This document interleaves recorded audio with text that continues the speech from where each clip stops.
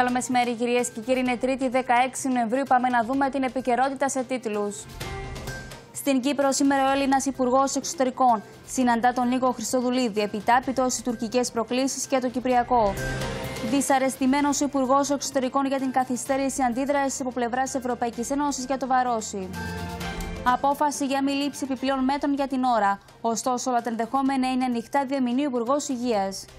Διπλασιάστηκαν οι ασθενείς με COVID σε μονάδες αυξημένης φροντίδας και εντατικής θεραπείας σε 10 ημέρες. Σε επαόριο στον απεργία κατέρχονται από το πρωί οδηγή ταξί, κυκλοφοριακό κομβούζο στην πρωτεύουσα. Ένας νεκρός και δύο τραυματίες σε δυστύχημα στον ηλεκτρικό του Αγίου Νικολάου στην Ελλάδα.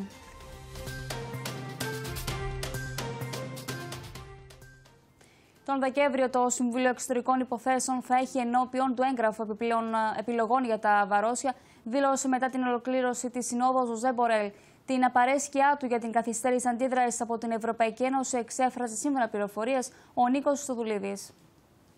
Την απαρέσκειά του εξέφρασε ο Υπουργός Εξωτερικών της Κύπρου Νίκος Χριστοδουλίδης για την καθυστέρηση αντίδρασης της Ευρωπαϊκής Ένωσης έναντι της Τουρκίας για τις ενέργειές της στα Βαρόσια. Το ζήτημα τέθηκε εκ νέου στο Συμβούλιο των Υπουργών Εξωτερικών στις Βρυξέλλες. Ωστόσο, σύμφωνα με κυπριακές διπλωματικές πηγές, το έγγραφο θα τεθεί προς εξέταση και συζήτηση στην Κορεπέρ, την Επιτροπή δηλαδή Μονίμων Αντιπροσώπων, την ερχόμενη εβδομάδα για έναρξη των συζητήσεων, με στόχο τη λήψη σχετικής απόφασης το Δεκέμβριο στις 27 Ιουλίου οι 27 Υπουργοί Εξωτερικών της Ευρωπαϊκής Ένωσης ξεκάθαρα δημόσια έχουν δηλώσει την ανάγκη αντίδρασης από πλευράς Ευρωπαϊκής Ένωσης αν δεν υπάρξει ανάκληση των παράνομων ενεργειών της Τουρκίας. Στη λεπτομερή έκθεση καταγράφονται σε έκταση τα γεγονότα σε σχέση με τις παράνομες δραστηριότητες της Τουρκίας στα Βαρόσια. Ενώ στο έγγραφο των επιλογών θα υπάρχουν δύο ενότητες. Μία που θα περιγράφει τα γεγονότα και την κατάσταση επί του εδάφους και μία με τις επιλογές για αντίδραση από πλευράς Ευρωπαϊκής Ένωσης. Όσον αφορά στην εργαλειοποίηση του μεταναστευτικού που τώρα έχει ως αιχμή τη Λευκορωσία, Λευκοσία και Αθήνα προσήλθαν με κοινή γραμμή δεχόμενες την πίεση από την τουρκική πλευρά. Αποφάσεις που θα αφορούν οριζόντια όλα τα κράτη τα οποία προωθούν τέτοιου είδους προσεγγίσεις. Και σίγουρα δεν είναι μόνο η Λευκορωσία που ακολουθεί τέτοιες πολιτικές. Στη δική μας περίπτωση, στην περίπτωση της Κύπρου, η Τουρκία σχεδόν καθημερινά εργαλειοποιεί τον ανθρώπινο πόνο. Διπλωματικές πηγές της Αθήνας επισημαίνουν ότι ο Υπουργός Εξωτερικών Νίκος Δένδιας εξέφρασε την υποστήριξή του στη λήψη μέτρων κατά της Λευκορωσίας. Παράλληλα όμως τόνισε ότι θα πρέπει να υπάρχει οριζόντια αντιμετώπιση όσων χωρών εργαλειοποιούν το μεταναστευτικό και στο πλαίσιο αυτό έκανε ιδιαίτερη αναφορά στο ρόλο της Τουρκίας στα γεγονότα του Εύρου το Μάρτιο του 2020. Είχαμε την σύλληψη ενός 60χρονου στην Πάφο για υπόθεση παράνομης καλλιέργειας φυτών κάναβης. Πάμε στην Χριστιανά Βερεσία. Η Χριστιανά, καλό μεσημέρι. Καλό μεσημέρι, Χριστίνα, κυρίες και κύριοι. Έτσι, ακριβώς στη σύλληψη 60χρονου προχώρησε χθες η αστυνομία για υπόθεση που αφορά παράνομη κατεχή, καλλιέργεια και κατοχή ναρκωτικών με σκοπό την προμήθεια. Συγκεκριμένα μέλη της ΙΚΑΝΠΑΦΟΥ μετά από έρευνα που διενήργησαν στις 23 Μαρτίου του 20 του 2020 εντόπισαν στην αυλή της οικίας του 60χρονου στην επαρχία Πάφου 11 υποκαλλιέργεια φυτακάναβης που βρίσκονταν μέσα σε γλάστρες.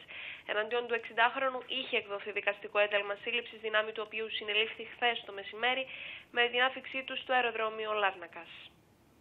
Ενώ χθε είχαμε και σύλληψη ενός 45χρονου στην Λάρνακα αυτή τη φορά, ο οποίος παρίστανε τον εισαγωγέ και πολιτή αυτοκινήτων και εξαπατούσε πολίτες. Ναι, προχώρησε στη σύλληψη ενός 45χρονου χθες η αστυνομία στη Λάρνακα για διευκόλυνση των ανακρίσεων σχετικά με διερευνόμενες υποθέσεις απόσπασης χρημάτων με ψευδείς παραστάσεις. Εναντίον του εκκρεμούσαν δικαστικά εντάλματα για τρεις υποθέσεις που καταγγέλθηκαν στην αστυνομία τους τελευταίους μήνες. Σύμφωνα με τα υποεξέταση στοιχεία, φέρεται να προσέγγιζε πολίτες ως εισαγωγέας και πολιτής αυτοκινήτων και συμφωνούσε μαζί τους για την πώληση αυτοκινήτων. Για τον σκοπό αυτό, φέρεται και στις τρεις περιπτώσεις να έλαβε χρηματικά ποσά από τους παραπονούμενους ως προκαταβολή, χωρίς ωστόσο να παρελάβουν τα οχήματα. Ενώ Χριστίνα κυκλοφόρησε χθες το πρόγραμμα της επίσημης επίσκεψης του Πάπα Φραγκίσκου στην Κύπρο. Ναι, η επίσημη επίσκεψη του Πάπα Φραγκίσκου, η οποία θα πραγματοποιηθεί στην Κύπρο από τις 2 μέχρι τις 4 Δεκεμβρίου. Σύμφωνα με το πρόγραμμα, την 5η 2 Δεκεμβρίου στις 3 ε, το απόγευμα θα αφηχθεί στον Διεθνή Αερολιμένα Λάρνακα, όπου θα γίνει επίσημη τελετή υποδοχής του. Στις 4 θα έχει συνάντηση με ιερείς, διακόνους, κατηχητές στον Καθεδρικό Ναό της Παναγίας ε, των Χαρίτων στη Λευκοσία, όπου και θα εκφωνήσει χαιρετισμό. Στις 5 και 15 θα γίνει επίσημη τελετή υποδοχής στο Προεδρικό Μέγαρο και 15 λεπτά αργότερα θα έχει θυμοτυπική συνάντηση με τον Πρόεδρο της Δημοκρατίας στο Προεδρικό Μέγαρο επίσης. Στις 6 θα συναντηθεί με τις αρχές, την κοινωνία των πολιτών και διπλωμάτες στην αίθουσα εκδηλώσεων του Προεδρικού Μεγάρου, όπου και εκεί θα απευθύνει χαιρετισμό. Τώρα, την Παρασκευή 3 Δεκεμβρίου στις 8.30 το πρωί θα έχει συνάντηση με τον Αρχιεπίσκοπο Κύπρου Χρυσόστομο στην Ιερά Αρχιεπισκοπή. Στις 9 θα συναντηθεί με την Ιερά Σύνοδο στον Ορθόδοξο Καθεδρικό Ναό στη Λευκοσία και στις 10 το πρωί θα τελέσει τη Θεία Λειτουργία στο στάδιο ΓΑΣΥΠΗ όπου και θα απευθύνει ομιλία προς τους συγκεντρωθέντες. Στις 4 θα προστεί οικουμενικής προσευχής μαζί με τους μετανάστες στην Καθολική Εκκλησία του Τιμίου Σταυρού στη Λευκοσία και το Σάββατο 4 Δεκεμβρίου στις 9 το πρωί θα γίνει η αποχαιρετιστήρια τελετής στο Διεθνή Αερολιμένας Λάρνακας και αργότερα θα αναχωρήσει για την Αθήνα. Και έτσι στις επαφές του εκεί να πούμε ότι περιλαμβάνονται και η επίσκεψή του σε κέντρο υποδοχής και ταυτοποίησης προσφύγων στη Λέσβο. Μάλιστα, Χριστίνα, ευχαριστούμε πολύ. Με τα μέλη της Επιστημονικής Επιτροπής συναντήθηκε χθες το μεσημέρι ο Υπουργός Υγείας. Αποφασίστηκε η μη λήψη επιπλέον μέτρων, ωστόσο, σύμφωνα με τον Υπουργό Υγείας, όλα τα ενδεχόμενα είναι ανοιχτά. Ειρήνη Κυράκου, καλό μεσημέρι. Καλό μεσημέρι, Χριστίνα. Καλό μεσημέρι, κυρίες και κύριοι. Κατά τη χθεσινή λοιπόν συνάντηση του Υπουργού Υγείας ε, και ειδικών αποφασίστηκε η μη λήψη επιπλέον μέτρων. Ωστόσο, αυτό δεν αποκλείεται να αλλάξει, καθώς όλα τα ενδεχόμενα παραμένουν ανοιχτά. Μετά τη μεγάλη αύξηση των κρουσμάτων το τελευταίο 24ωρο, ο Υπουργός Υγείας Μιχάλης Κατσιπαντέλας τόνισε ότι όλα τα ενδεχόμενα είναι ανοιχτά και πιθανόν στη συνάντηση με τους επιστήμονες την ερχόμενη Δευτέρα οι εισηγήσεις τους να αλλάξουν και αναλόγως θα αποφασίσουν ποιες εισηγήσεις θα πάνε στο επόμενο Υπουργικό Συμβούλιο. Ανέφερε μεταξύ άλλων ο Υπουργός. Ο Υπουργός είπε ότι οι συναντήσεις θα γίνονται πλέον εβδομαδιαίες, καθώς μπαίνουμε σε περίοδο χειμώνα, ώστε ε, αν χρειαστεί να πάρθουν και οι ανάλογες αποφάσεις. Κληθεί τώρα να σχολιάσει τα σενάρια που ακούγονται για επιβολή μέτρων ή lockdown στους ανεμβολίες. Τους ανέφερε ότι κάτι τέτοιο δεν τέθηκε στη χθεσινή συζήτηση, ενώ τόνισε εκ νέου ότι αναμένεται νέα τοποθέτηση των ειδικών την επόμενη Δευτέρα προσθέτοντας όπως έχουμε πει ότι όλα τα ενδεχόμενα είναι ανοιχτά. Εν τω μεταξύ, εδώ να αναφέρουμε ότι ξεκινά από αύριο εμβολιασμός ε, για τους 40 και άνω. Νομίζουμε ότι έχει παρέλθει απαραίτητα χρονική περίοδος 6 μηνών από την ολοκλήρωση του εμβολιαστικού σχήματος, χορήγησης δηλαδή της δεύτερης δόσης στις περιπτώσεις των εμβολίων Pfizer, Moderna και AstraZeneca ή του εμβολίου του μονοδοσιακού της Johnson Johnson. Α, να σημειώσουμε επίση ότι το εμβολιαστικό σχήμα θεωρείται ολοκληρωμένο με την, με την χορήγηση των δύο δόσεων και ως εκ τούτου έτσι εξασφαλίζεται προς το παρόν το State Pass. Και τέλος να αναφέρουμε πως όσον αφορά την ε, υποχρεωτική χρήση COVID scan από τις επιχειρήσεις 22 Νοεμβρίου και έπειτα το Υπουργείο Υγείας αναμένεται να ανακοινώσει τις ομάδες πολιτών που θα εξαιρούνται από την υποχρεωτική επίδειξη ηλεκτρονικού COVID Pass ε, και θα μπορούν να δείχνουν τα παραδοσιακά πιστοποιητικά. Χριστίνα. Μάλιστα, Ειρήνη, σε ευχαριστούμε. Έξαρση της πανδημίας καταγράφεται στην Ευρώπη με τις κυβερνήσεις να λαμβάνουν νέα μέτρα. Lockdown για εμβολία στους μάσκες και πάλι παντού και άλλα μέτρα, καθώς οι κυβερνήσεις φοβούνται για μεγαλύτερη έξαρση όσο πλησιάζουν οι γιορτές των Χριστουγέννων. Για ακόμη μια φορά η Ευρώπη είναι το επίκεντρο της έξαρσης της πανδημίας με την Αυστρία να προχωρά σε lockdown μόνο για τους ανεμβολίαστους.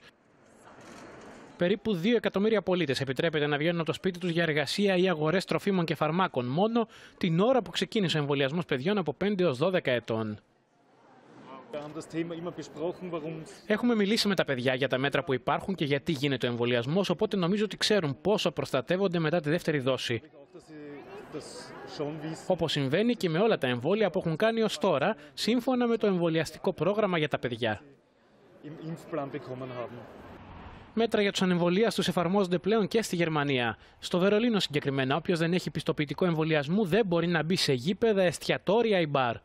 Μάλιστα, υπάρχουν εκκλήσεις προς τα κόμματα να σχηματίσουν άμεσα κυβέρνηση ώστε να πάρθουν μέτρα και να αναχαιτιστεί το πέμπτο κύμα της πανδημίας. Στο Ηνωμένο Βασίλειο, η κυβέρνηση δίνει τη δυνατότητα τρίτης δόσης σε όλους τους πολίτες άνω των 40 ετών μετά τη σύσταση της Επιστημονικής Επιτροπής.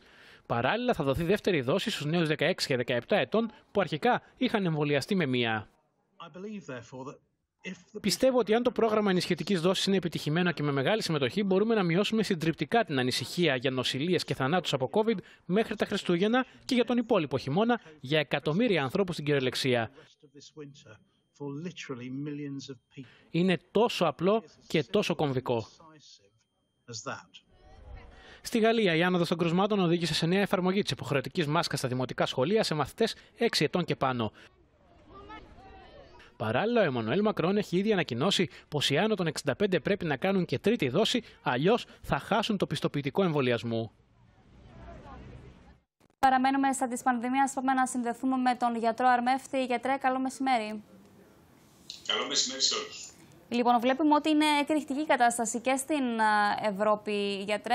Ε, Χθες είχαμε αποφάσεις από το, από το Υπουργικό Συμβούλιο. Αποφασίστηκε η χορήγηση τρίτης δόσης σε άτομα ηλικίας 18 ετών και άνω. Θεωρείτε ότι αυτό το μέτρο την παρούσα στιγμή είναι προς την ορθή κατεύθυνση; Ανεπιφύλακτα, σίγουρα. Γιατί όπως ξέρουμε, όταν περάσουν έξι μήνες και περισσότερος χρόνος μετά τη δεύτερη δόση, η προστασία που παρέχει το, το εμβόλιο μειώνεται. Οπότε, για να μπορούμε να λέμε ότι έχουμε ποσοστά εμβολιασμών και είναι πραγματικά προστατευμένος αυτό το, το πληθυσμός, θα πρέπει σε αυτούς που έχουν περάσει οι έξι μήνες να κάνουν την τρίτη δόση. Είναι μια ενισχυτική δόση που όπου έγινε στο εξωτερικό και έχουμε παραδείγματα από διάφορες χώρες, έχει βοηθήσει πολύ σημαντικά ε, στην αντιμετώπιση του προβλήματος, στο να μειωθούν ε, τα περιστατικά, ειδικά τα περιστατικά που χρειάζονται νοσηλεία. Μάλιστα. Ε, Χωρίς παραδείγματα είναι και το Ισραήλ, όπου ε, βαίνει καλά με την πανδημία λόγω ακριβώς των μέτρων που έχει λάβει, γιατρέ. Μπορείτε, σας παρακαλώ, να επαναλάβετε, γιατί δεν σας άκουσα. Λέω ότι αναφερόμασταν πριν στην Ευρώπη. Είπατε εσείς για χώρες πρότυπα που λαμβάνουν ε, αρκετά μέτρα και υπάρχει και είναι μεγάλο το ποσοστό του, του εμβολιασμού. Ε, μία χώρα παράδειγμα είναι το Ισραήλ. Ναι, το Ισραήλ, κοιτάξτε. Ε, πρακτικά το Ισραήλ είχε το πρόβλημα ότι χαλάρωσε όταν έφτασε κοντά στα 60% των, των εμβολιασμών και εκεί το πλήρωσε γιατί είναι μια αύξηση ε, στα κρούσματα και σε ποσοστό εμβολιασμένων. Οπότε τώρα είναι πιο σοφό και προχώρησε έγκαιρα στην τρίτη δόση και έδειξε μέσα σε μικρό χρονικό διάστημα ε, της τάξης του μέσα στο μήνα δηλαδή που ξεκίνησε να χορηγείται τρίτη δόση, θεαματική μείωση των ποσοστών, που νομίζω αυτό είναι το καλύτερο παράδειγμα για να αντιγράψουμε. Ναι. Ωστόσο, είπε χθες ο Υπουργός Υγείας ότι για την ώρα δεν έχει υπάρξει οποιαδήποτε ε, απόφαση για λήψη επιπλέον μέτρων, για αυστηροποίηση μάλλον των μέτρων. Ωστόσο, όπως είπε, όλα τα ενδεχόμενα είναι ανοιχτά. Μα νομίζω αυτό είναι λογικό. Δηλαδή, αν δούμε παρελθίδα, δηλαδή αύριο να αυξάνονται περαιτέρω τα ποσοστά, φτάσουμε στα χίλια και γεμίσουν οι εντατικές, θα μπορούν πιο αυστηρά μέτρα. Νομίζω δεν θέλει εξήγηση αυτό το πράγμα. Ε, ο καθένας μπορεί να το καταλάβει από μόνος ναι. Το ζητούμενο όμως είναι να αντιληφθούμε όλοι μας την αναγκαιότητα αυτού που δεν έχουν εμβολιαστεί να πάνε να εμβολιαστούν, γιατί είναι αυτός ο πληθυσμός που πιθανόν να κινδυνεύσει περισσότερο ε, ε, από θέμα πανδημίας, από ένα επόμενη αύξηση περαιτέρω των, των κρουσμάτων. Δηλαδή και βλέπουμε τα ποσοστά το 90% αυτών που νοσηλεύονται ε, στις μονάδες εντατικής θεραπείας είναι ανεμβολίαστοι. Άρα αυτό είναι το πιο σημαντικό και το πιο δυνατό μήνυμα. Από την άλλη, είναι το θέμα της τρίτης δόσης, που όπως είπαμε και πριν, να μην το αφήσουμε δηλαδή να επαναπαυθεί κάποιος και να πει: Έχω κάνει το εμβόλιο, δεν θα κάνω τρίτη δόση, γιατί μετά από έξι μήνες η προστασία μειώνεται. Νομίζω όλοι πρέπει να μπουν σε αυτή τη διαδικασία και να σηκωθούν από το καναπέ τους και να πάνε να εμβολιαστούν τώρα, γιατί ο χρόνος δουλεύει εναντίον μας. Έπρεπε να το είχαμε κάνει ήδη. Ε, είμαστε λίγο πίσω στα ποσοστά της τρίτης δόσης ε, και πρέπει να βελτιώσουμε σημαντικά ε, τα ποσοστά εμβολιασμού με πρώτη δόση, ειδικά στις ηλικίες κάτω των 18. Να σας πω απλά έτσι για να ξέρετε, κάτω των 18 έχουμε ποσοστό εμβολιασμών με δύο δόσεις 11%. Είναι πολύ χαμηλό το ποσοστό, κύριε Αρμέφτη, πάντως. Αρκετά είναι, χαμηλό. Υπολογίστε ότι είναι από 18, 18 ε, ετών και άνω φτάσαμε στο 80%, αλλά από 18 ετών και κάτω είμαστε στο 11%. Άρα ένας, ε, μια ομάδα πληθυσμού είναι από ηλικίες 12 με 18 με 24 πρέπει να αυξηθεί το ποσοστό εμβολιασμών. Γιατί υπάρχει ο κίνδυνος να, να είναι εκεί το πρόβλημα που θα ακολουθήσει και δεν ξέρει και κανένας πώς θα είναι η φύση του προβλήματος. Δηλαδή, ένα επερχόμενο κύμα δεν ξέρεις πόσο θα επηρεάσει πιο νεαρές ηλικίες. Ναι. Μάλιστα. Ε, τώρα να μας πείτε κατά πόσο η Κύπρος είναι στη φάση να υιοθετήσει ε, τα μέτρα που εφαρμόζονται αυτή την περίοδο σε άλλες ευρωπαϊκές χώρες, δηλαδή με τα lockdown για τους ανεμβολίαστους. Ε, προσωπικά πιστεύω ότι τέτοιο μέτρο στην Κύπρο δεν μπορεί να εφαρμοστεί ποτέ. Οπότε ας μην το συζητάμε, ναι. γιατί δεν, δεν μπορεί να εφαρμοστεί αυτό το μέτρο. Για να εφαρμόσεις τέτοιο μέτρο είναι θέμα ε, ως λαός, ως κράτος, ε, να μπορείς να έχεις ε, την κουλτούρα και τον τρόπο να αντιμετωπίσεις το πρόβλημα ε, έτσι με πιο αυστηρά μέτρα. Είναι πολύ αυστηρό μέτρο και θεωρώ ότι με τα δεδομένα που έχουμε στην Κύπρο, η εφαρμογή, οποιαδήποτε προσπάθεια εφαρμογής τέτοιου μέτρου θα φέρει τόσες πολλές αντιδράσεις που θα φέρει ακριβώς τα αντίθετα αποτελέσματα. Μάλιστα. Ε, γιατί είναι και η άρνηση γιατρέ κάποιων να εμβολιαστούν, πόσο μάλλον όταν βλέπουν ότι γίνονται συζητήσεις, ε, υπάρχουν ε, τίτλοι στον τύπο, βλέπουν τι γίνεται στην, ε, στην Ευρώπη ε, με ένα τέτοιο αυστηρό μέτρο. Οπότε αντιδρούν ακόμη περισσότερο. Οπότε καλύτερα να μην. Ε... Ξέρετε, ε, το μόνο που μπορούμε να πούμε σε αυτή την περίπτωση, απλά για να το κάνουμε έτσι για χάρη συζήτησης, στην ναι. περίπτωση, στο χειρότερο σενάριο που έχουμε γεμάτα τα νοσοκομεία και τις εντατικές και δεν υπάρχει καμία άλλη επιλογή, τότε. Μάλιστα, κυρία Γιατρέ, πρέπει να, πρέπει να διακόψουμε. Αλλά... Γιατρέ, με ακούτε, πρέπει να διακόψουμε. Πάμε να συνδεθούμε αμέσως με το Υπουργείο Εξωτερικών. Εκεί προβαίνουν σε δηλώσεις ο Υπουργείο Εξωτερικών Ελλάδας και Κύπρου. Το Παρίσι, στη Σύνοδο για την Λιβύη, συνοδεύοντας τον πρόεδρο της Δημοκρατίας και τον Έλληνα Πρωθυπουργό, Είμαστε μαζί στα Ηνωμένα Αραβικά Εμμυράτα μετά από πρόσκληση του κοινού μας φίλου του Υπουργού Εξωτερικών των Ηνωμένων Αραβικών Εμμυράτων. Χθες ήμασταν μαζί στις Βρυξέλλες, στο Συμβούλιο των, των Υπουργών Εξωτερικών. Σήμερα στην Κύπρο και την Παρασκευή θα βρεθούμε και πάλι στην, στην Αθήνα στο πλαίσιο της κοινή μας συνάντησης με δύο σημαντικούς εταίρους, την Γαλλία και την Αίγυπτο. Αντιλαμβάνεστε ότι ο συντονισμός είναι καθημερινός, οι επιδιώξεις μας είναι κοινές και οι δράσεις μας τόσο ως κράτη της περιοχής, αλλά και ως κράτη-μέλη της ε, Ευρωπαϊκής Ένωσης ταυτίζονται και είναι στοχοπροσιλωμένες. Στη βάση πάντα μιας θετικής προσέγγισης και μακριά από εξισώσεις μηδενικού αθροίσματος εργαζόμαστε με άλλα ομονοούντα κράτη της ευρύτερης περιοχής για να επικρατήσουν συνθήκες ασφάλειας, συνεργασίας και σταθερότητας. Είναι ιδιαίτερα σημαντικό, θεωρώ, ότι η προσπάθεια μας όχι μόνο είναι συλλογική, αλλά και τη χάνει αναγνώρισης όχι μόνο από τα κράτη της περιοχής, αλλά και από άλλους διεθνείς διεθνείς που επιδεικνύουν ένα ιδιαίτερο, αν θέλετε, ενδιαφέρον για τις εξελίξεις στην, στην ευρύτερη περιοχή. Μέσα σε αυτό το πλαίσιο θέλω να αναφέρω αυτή τη διάσταση.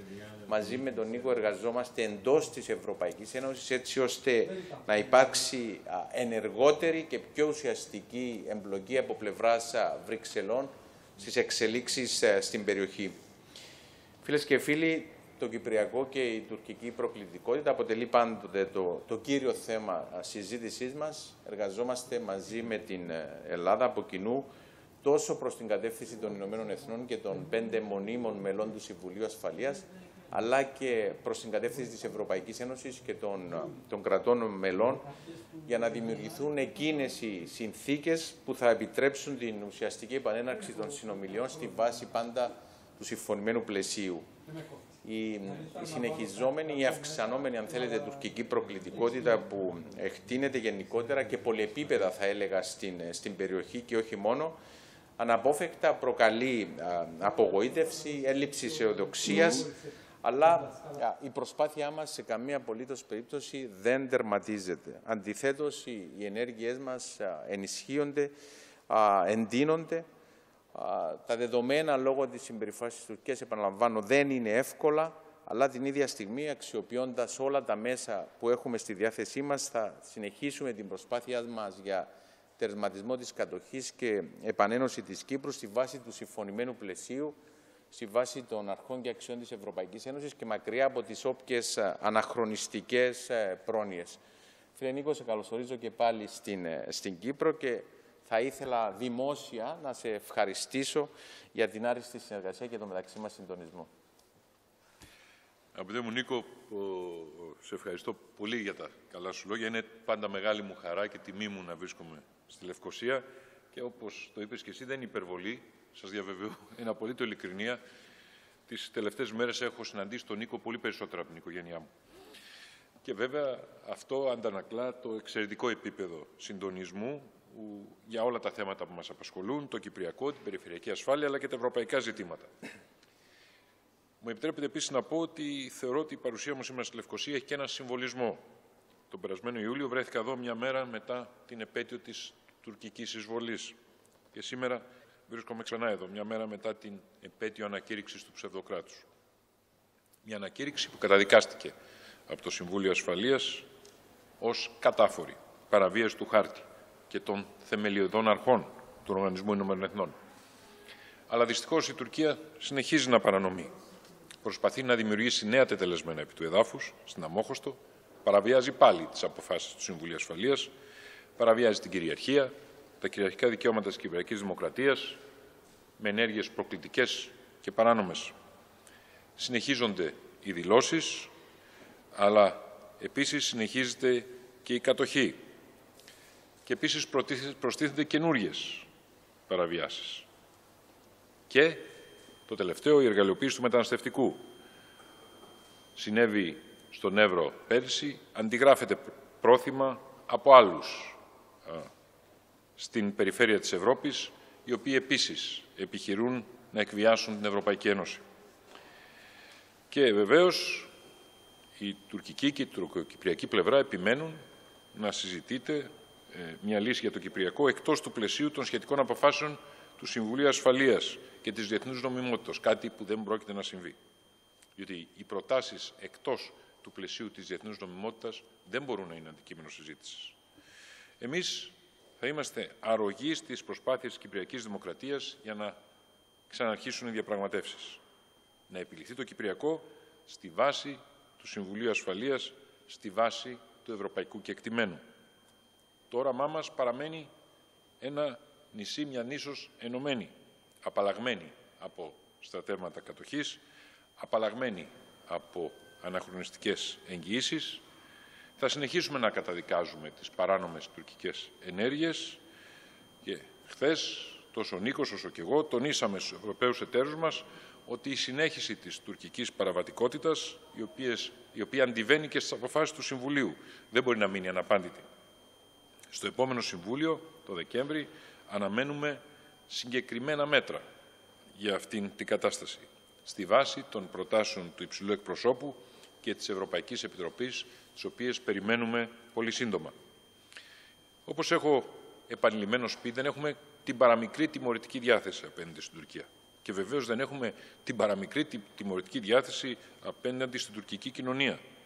Ευελπιστούμε ότι η Τουρκία θα ασπαστεί μια μέρα το διεθνές δίκαιο. Θα πάψει να προωθεί μια νεοθωμανική αναθεωρητική ατζέντα. Θα πάψει να έχει αποσταθεροποιητικά όνειρα. Δυστυχώς όμως αυτή η μέρα δεν φαίνεται να είναι ακόμη κοντά. Ιδίως όταν κανείς βρίσκεται εδώ, στη Λευκοσία, την τελευταία διηρημένη πρωτεύουσα της Ευρώπης. Από τη Λευκοσία αυτό το όνειρο φαίνεται πολύ μακρινό. Σήμερα δεν συζητήσαμε μόνο για τις προκλήσεις στην περιοχή, συζητήσαμε στο πλαίσιο της συνεργασίας μας στα πολυμερή σχήματα. Είπε ο Νίκος τη σειρά των συναντήσεων μας τελευταίες μέρες με τα Ηνωμένα Αραβικά Εμμυράτα και την Ιορδανία και την Αίγυπτο προ δύο ημερών, την Παρασκευή στην Αθήνα πάλι με τη Γαλλία και την Αίγυπτο και προσβλέπουμε και σε άλλες συναντήσεις με άλλες χώρες της περιοχής, σε πολυμερή σχήματα όπως με το Ισραήλ, με τις χώρες των Δυτικών Βαλκανίων, ειδικά και με τη Σερβία. Σκοπός μας είναι να εξετάσουμε τις προκλήσεις για την περιφερειακή ειρήνη, την ασφάλεια, την ευημερία στη βάση των κοινών μας αξιών, στη βάση του διεθνούς δικαίου, στη βάση του δικαίου της θάλασσας. Η Ελλάδα και η Κύπρος είναι βαθύτατα προσιλωμένες στο σεβασμό και στην προάσπιση του διεθνούς δικαίου. Επιτρέψτε μου να κλείσω, Νίκο, με τα συγχαρητήριά μου για την εκλογή του Ανδρέα Μαυρογιάννη στην Επιτροπή του Διεθνούς Δικαίου του Οργανισμού Ηνωμένων Εθνών. Το χαρήκαμε όσο και εσείς. Ευχαριστούμε πάρα πολύ.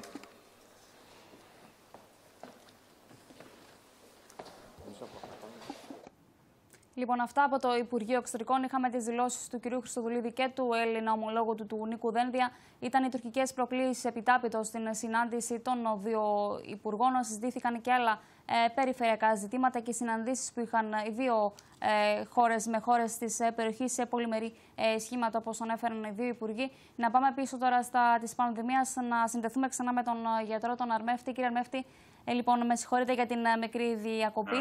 Ε, μιλούσαμε για, τα, για τους ανεμβολίαστους και για, το, για τα lockdown που εφαρμόζονται σε κάποιες άλλες χώρες, ειδικά ε, για αυτή την ομάδα πληθυσμού.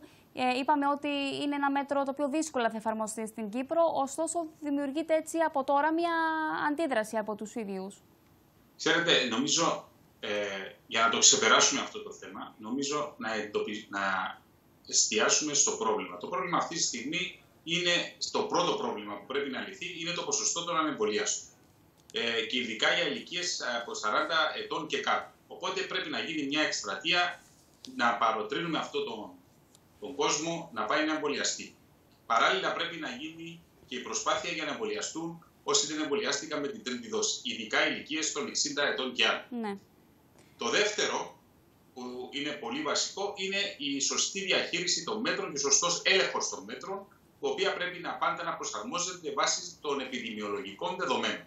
Και το τρίτο, και αν θέλετε το πιο δύσκολο, είναι η διαχείριση των νοσηλειών στα νοσηλευτήρια μας ε, για ασθενείς με COVID αλλά και non-COVID, γιατί είμαστε σε μια περίοδο που έχουν αυξηθεί ε, σημαντικά οι ασθενείς που βρίσκονται στις μονάδες εντατικής θεραπείας ε, που πάσχουν από non-COVID, από άλλα νοσήματα ναι. και αυτό δημιουργεί ένα επιπρόσθετο πρόβλημα για την πιθανή αύξηση περιστατικών για ανάγκη για νοσηλεία από COVID.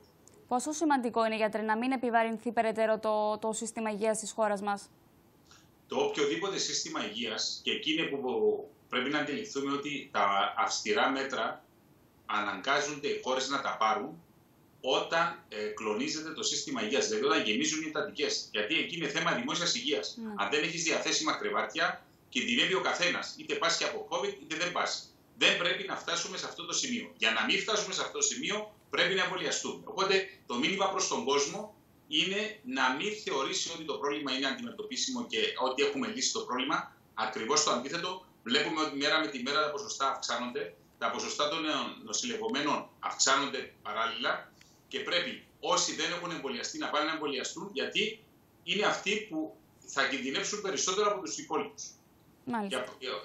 Και αυτό το, το πιο βασικό, να προστατεύσεις δηλαδή τον εαυτό σου από μια πιθανή σοβαρή νόσο που θα σε οδηγήσει στην εντατική. Κάτι τελευταίο, γιατρέ, θα ήταν καλό, θεωρείτε, και στην Κύπρο να είχαμε τα self-test; Και κατά πόσο θα ήταν αξιόπιστα στην τελική;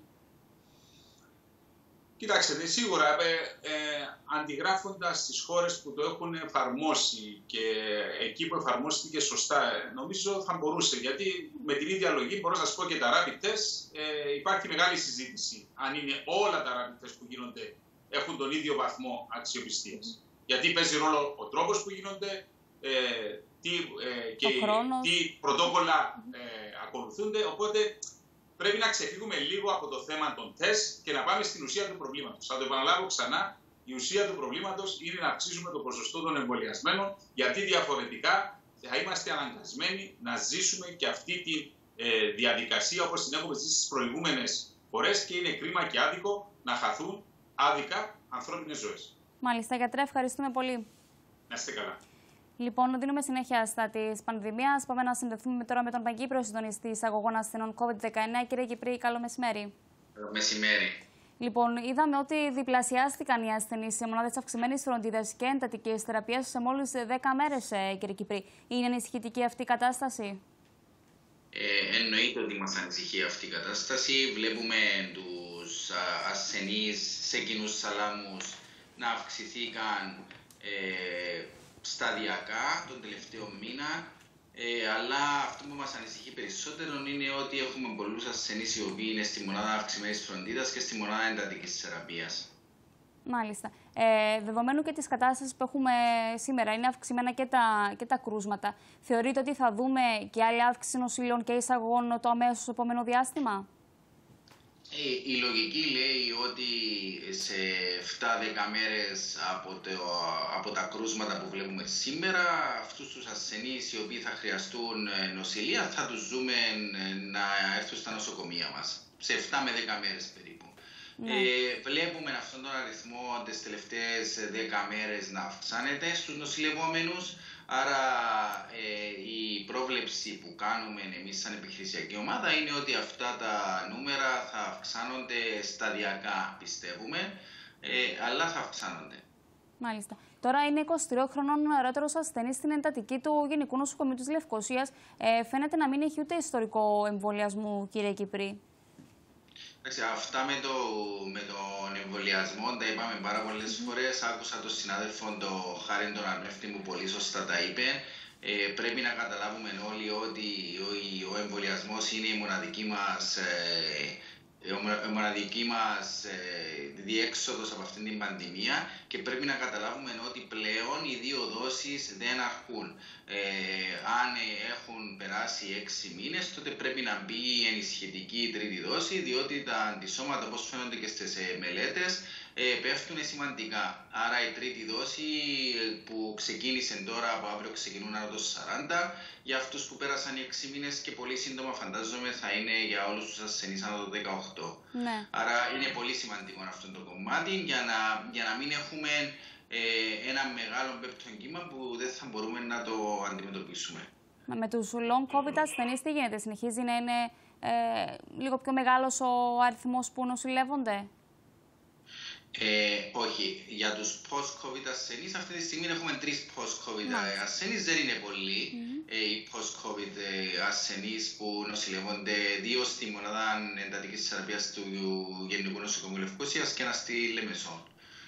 Mm. Πόσοι θαλαμιλοί ε, λειτουργούν; Αυτή τη στιγμή ε, λειτουργούν, ε, λειτουργά κλινική COVID στο Γενικό Νοσοκομείο Πάφου, στο Γενικό Νοσοκομείο Λεμεσού, στο Γενικό Νοσοκομείο Αμοχώστου και στο Γενικό Νοσοκομείο Λευκοσίας. Μάλιστα. Λοιπόν, κύριε Κύπρη, ευχαριστούμε πολύ. Να είστε καλά. Εγώ ευχαριστώ. Γεια σας. Να πάμε τώρα στον Δήμαρχο της Γερμασόγια, τον ε, κύριο Κυριάκο Οξυδία, για τα κρούσματα κορονοϊού που εντοπίστηκαν σε εκδρομή συνταξιούχων. Ε, κύριε Δήμαρχε, καλό μεσημέρι.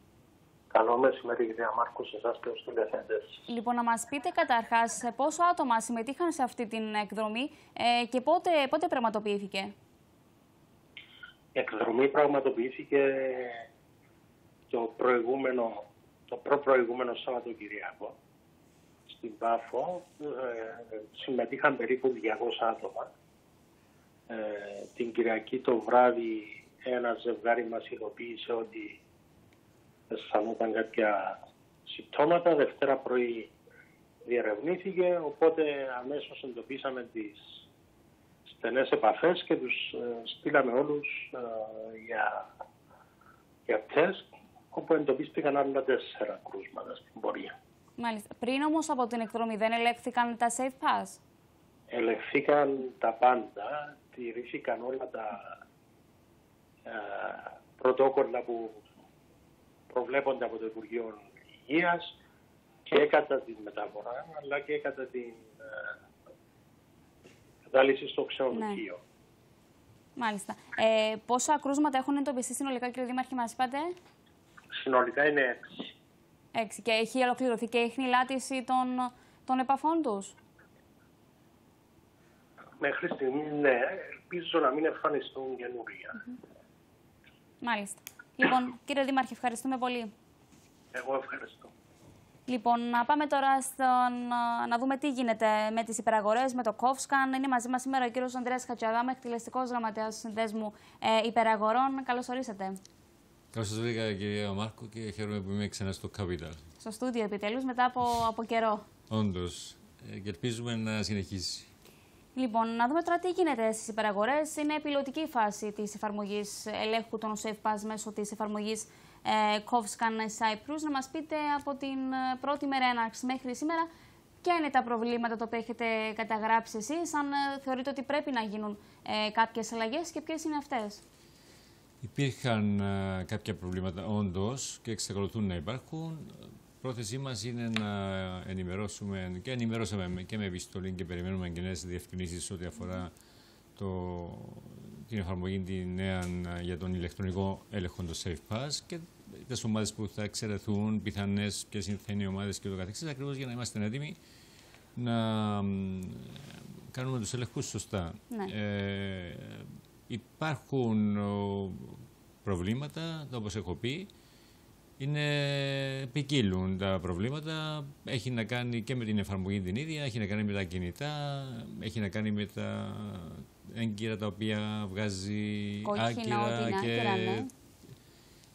τα άκυρα έγκυρα και ούτω καθεξής. Ε, όμως τις τελευταίες μέρες από ό,τι ακούμε τα πράγματα είναι σε πολύ καλή κατάσταση και ε, ελπίζουμε να συνεχίσει αυτή η διόρθωση των πραγμάτων και στην πορεία μέχρι να έρθει η ώρα η οποία θα είναι υποχρεωτική η χρήση μέχρι να επανέλθει αυτός ο χρόνος προσαρμογής να κυλήσουν όλα ομαλά για το καλό όλων και των καταναλωτών πρώτιστα για να μην υπάρχει σύγχυση και ταλαιπωρία τόσο στις εισόδους και όπου χρειάζεται αυτός ο ναι. έλεγχος αλλά και για τις επιχειρήσεις γιατί οι επιχειρήσεις εδώ και πάρα πολλά καιρό σε σχέση με την πανδημία αντιλαμβάνεστε ότι εφαρμόζουν μια σειρά μέτρων και αυτό δημιουργεί δυσκολίες. Βέβαια, από την άλλη, βλέπουμε ότι τα πράγματα τείνουν δυστυχώς να πάμε ξανά σε καταστάσεις οι οποίες ε, είναι δύσκολες, αλλά όπως έχει λεχθεί. Και εμείς συμφωνούμε ότι θα πρέπει όλοι μας να επαναφέρουμε, αν θέλετε, την, έτσι, την ευαγρύπνηση, την εγρήγορση για την υιοθέτηση των μέτρων σε ατομικό, κοινωνικό και συλλογικών ε, επίπεδων, ώστε να μπορέσουμε όλοι μαζί από κοινού για ακόμη μια φορά να αντεπεξέλθουμε επιτέλους από αυτή την πανδημία. Μάλιστα. Ε, Πάντως ε, και με την. Πάμε πίσω, όταν έπρεπε να, από την αρχή να επιδεικνύουμε ε, το ΣΕΦΠΑΣ μας, είτε ένα αρνητικό PCR ή rapid test, είτε μια κάρτα εμβολιασμού, υπήρχε αντίδραση από τους από τους πολίτες για το ποιος κάνει αυτό τον έλεγχο, αν είναι υπάλληλος της υπεραγοράς, αν είναι από κάποιο υπουργείο. Δέχονταν επίθεση εισαγωγικά οι υπάλληλοι των υπεραγορών. Τώρα βλέπουμε ότι ε, είναι λίγο πιο μεγάλο το πρόβλημα λόγω της καθυστέρησης που παρατηρείται, ειδικά με το κινητό στο να ελέγξουν αν Υπάρχει. είναι έγκυρο ένα ευπάσιο. Έχετε δίκιο να εξακολουθούν να υπάρχουν όλα αυτά. Και είναι αυτό που έλεγαμε και εμείς, γιατί στα τρόφιμα, στις υπεραγορές, στις μικρές υπεραγορές, στα μικρά μπακάλικα της γειτονιάς, ξέρετε πολύ καλά κι εσείς ότι ο κόσμος είναι επαναλαμβανόμενος. Δηλαδή υπάρχει επισκεψιμότητα, επαναλαμβάνεται συνεχώς. Ναι. Μπορεί κατά τη διάρκεια της ημέρας να κάνει ένας πελάτης, ένας καταναλωτής, δύο και τρεις ε, επισκέψεις. Αυτό δημιουργεί αυτά όλα τα προβλήματα. Ε, δημιουργεί αυτή την κούραση, αυτή την ε, σύγχυση, αυτή την ένταση. Είναι ταλαιπωρία, είναι χρονοβόρα. Είναι γιατί ο, στον κόσμο που ζούμε, ο κόσμος ήδη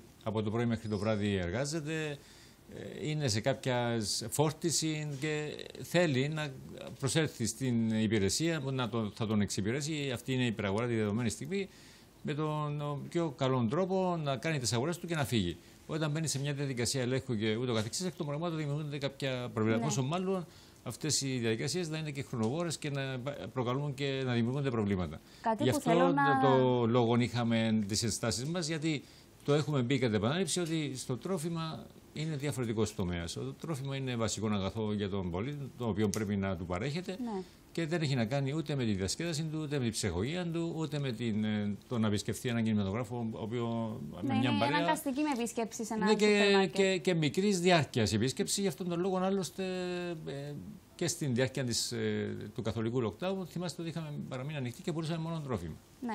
Ε, κάτι που θέλω να σας ρωτήσω, γιατί δεν, δεν ξέρω τι ισχύει μέχρι σήμερα. Ενώ στην αρχή είχαμε ότι, βλέπαμε ότι επιτρεπόταν ένα συγκεκριμένος αριθμός πελατών να εισελθεί σε μια υπεραγορά. Εξακολουθούν να υπάρχουν αυτά τα μέτρα. Σίγουρα και εφαρμόζονται σε σχέση με άλλες χώρες. Ε, ό,τι και υπεραγορά έχω επισκεφθεί το τελευταίο διάστημα δεν ναι, αλλά... καταγράφεται ο αριθμός βέβαια των, αριθμό, των πελάτων που επιτρέπεται να είναι μέσα, ωστόσο δεν, δεν υπάρχει ουρά έξω. Ε, όχι, εξακολουθούν και οι αποστάσεις και πρόσφατα είχαμε, καταγγελ... είχαμε ε, κατα...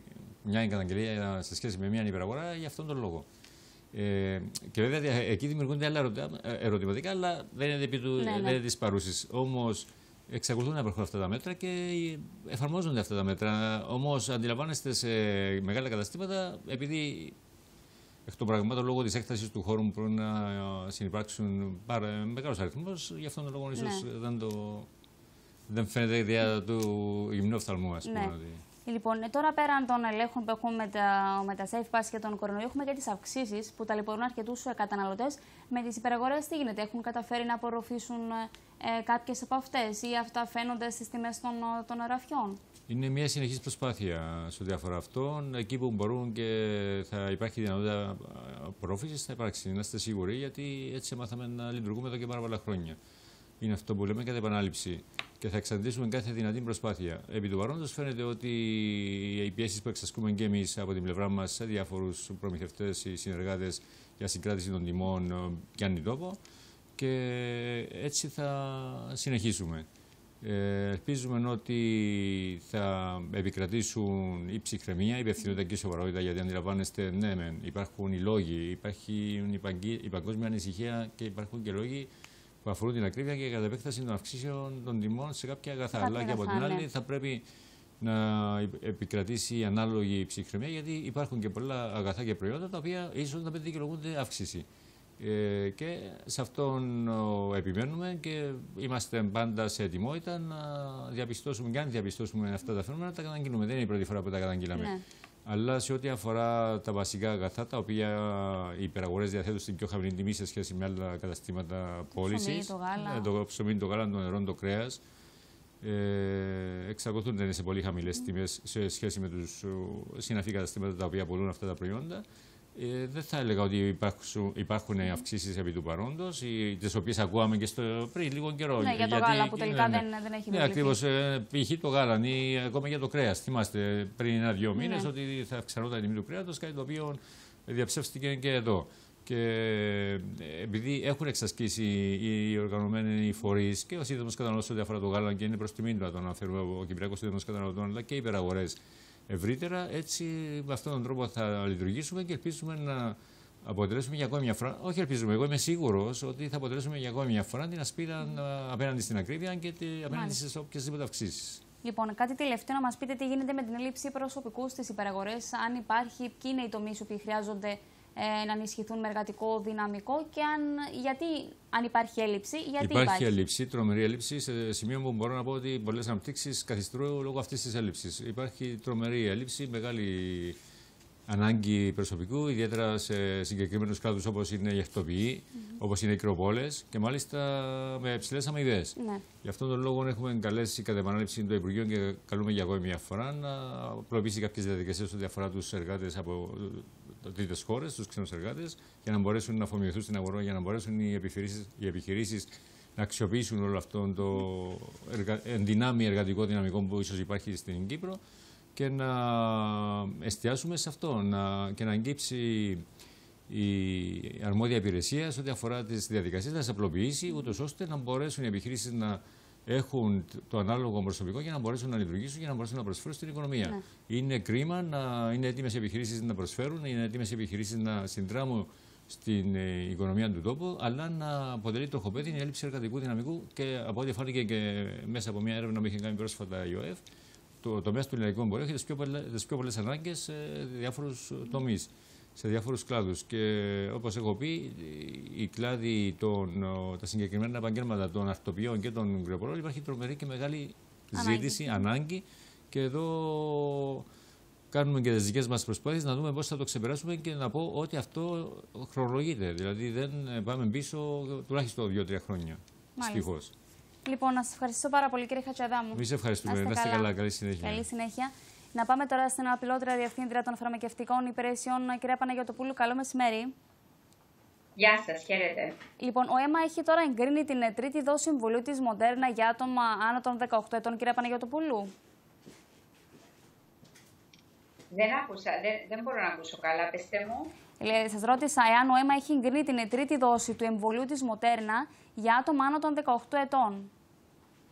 Ναι, βέβαια. Είναι για όλα τα εμβόλια που ισχύει αυτό, ε, αυτή η απόφαση. Δηλαδή, είναι για τα εμβόλια ε, ή εκείνων των ατόμων που έχουν εμβολιαστεί είτε με εμβόλιο της Pfizer, είτε με της Moderna, είτε AstraZeneca, είτε Johnson Johnson. Δικαιούνται τρίτη δόση για εκείνους που έχουν εμβολιαστεί με εμβόλια με δύο δόσεις, δηλαδή AstraZeneca, Pfizer ε, η Moderna, αφού του περάσουν 6 μήνες από το δεύτερο εμβολιασμό και η δεύτερη δόση με Johnson Johnson εφόσον περάσουν 6 μήνες από τον πρώτο εμβολιασμό. Ναι. Η ενισχυτική δόση αυτή αποτελείται από το μισό της δόσης που χρησιμοποιείται για τον ε, κανονικό εμβολιασμό; Δεν σας ακούω καλά. Ε, σας ρωτώ λοιπόν, είναι η ενισχυτική αυτή δόση αποτελείται από το μισό της ε, κανονικής δόσης που χρησιμοποιείται ε, στον αρχικό κανονικό εμβολιασμό; Ναι, για τη μοντέρνα ναι.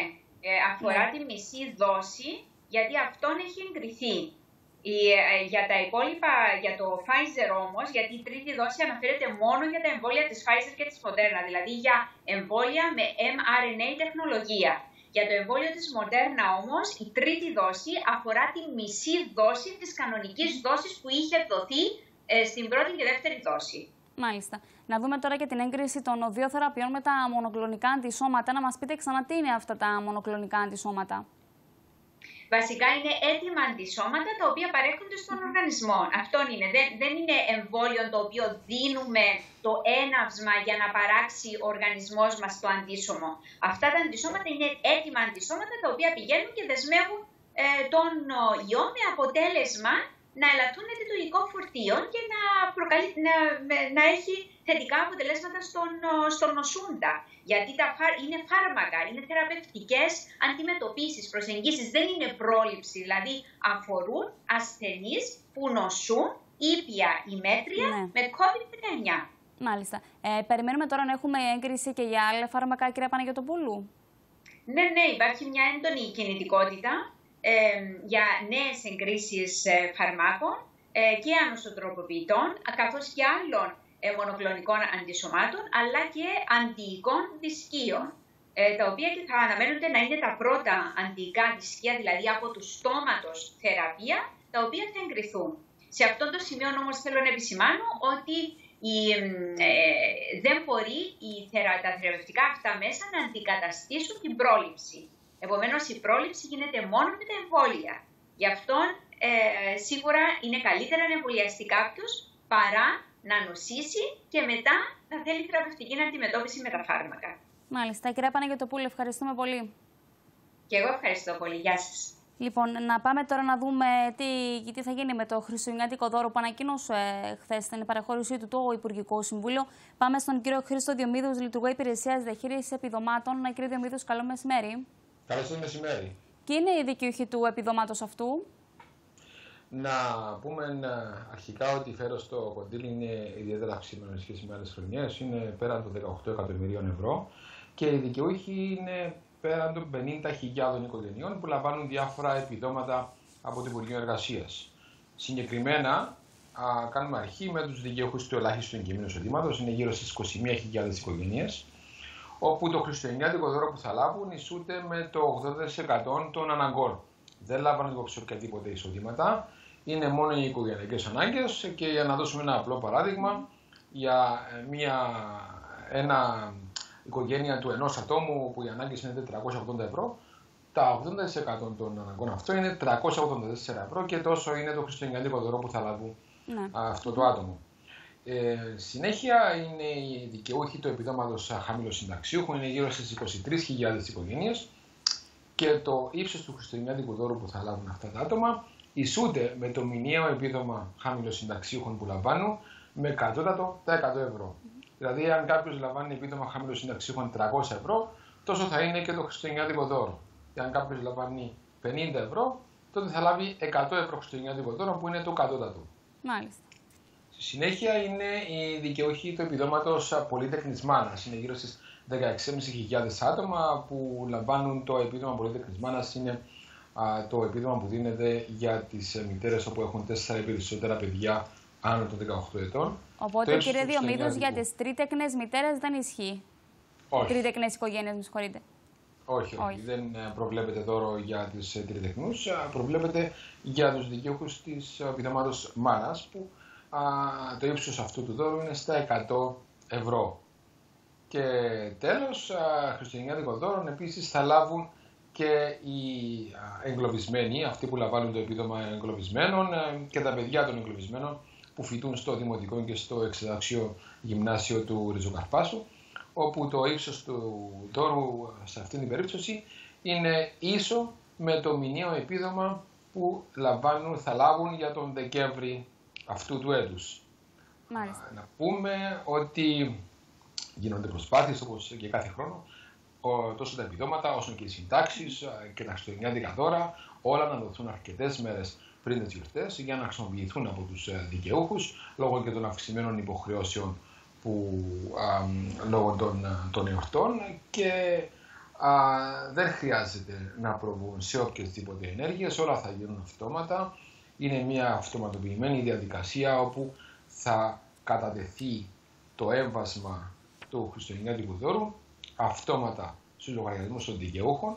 Α, το μόνο που πρέπει να ξέρει ο κόσμος είναι χριστουγεννιάτικο δώρο από τις κατηγορίες που προαναφέραμε δικαιούνται όλοι όσοι είναι δικαιούχοι αυτού του επιδόματος το μήνα Δεκέμβριο. Δηλαδή, αν κάποιος ε, του έχει αποκοπεί το ελάχιστο κείμενο εισόδημα προηγουμένως, δεν θα πάρει χριστουγεννιάτικο δώρο.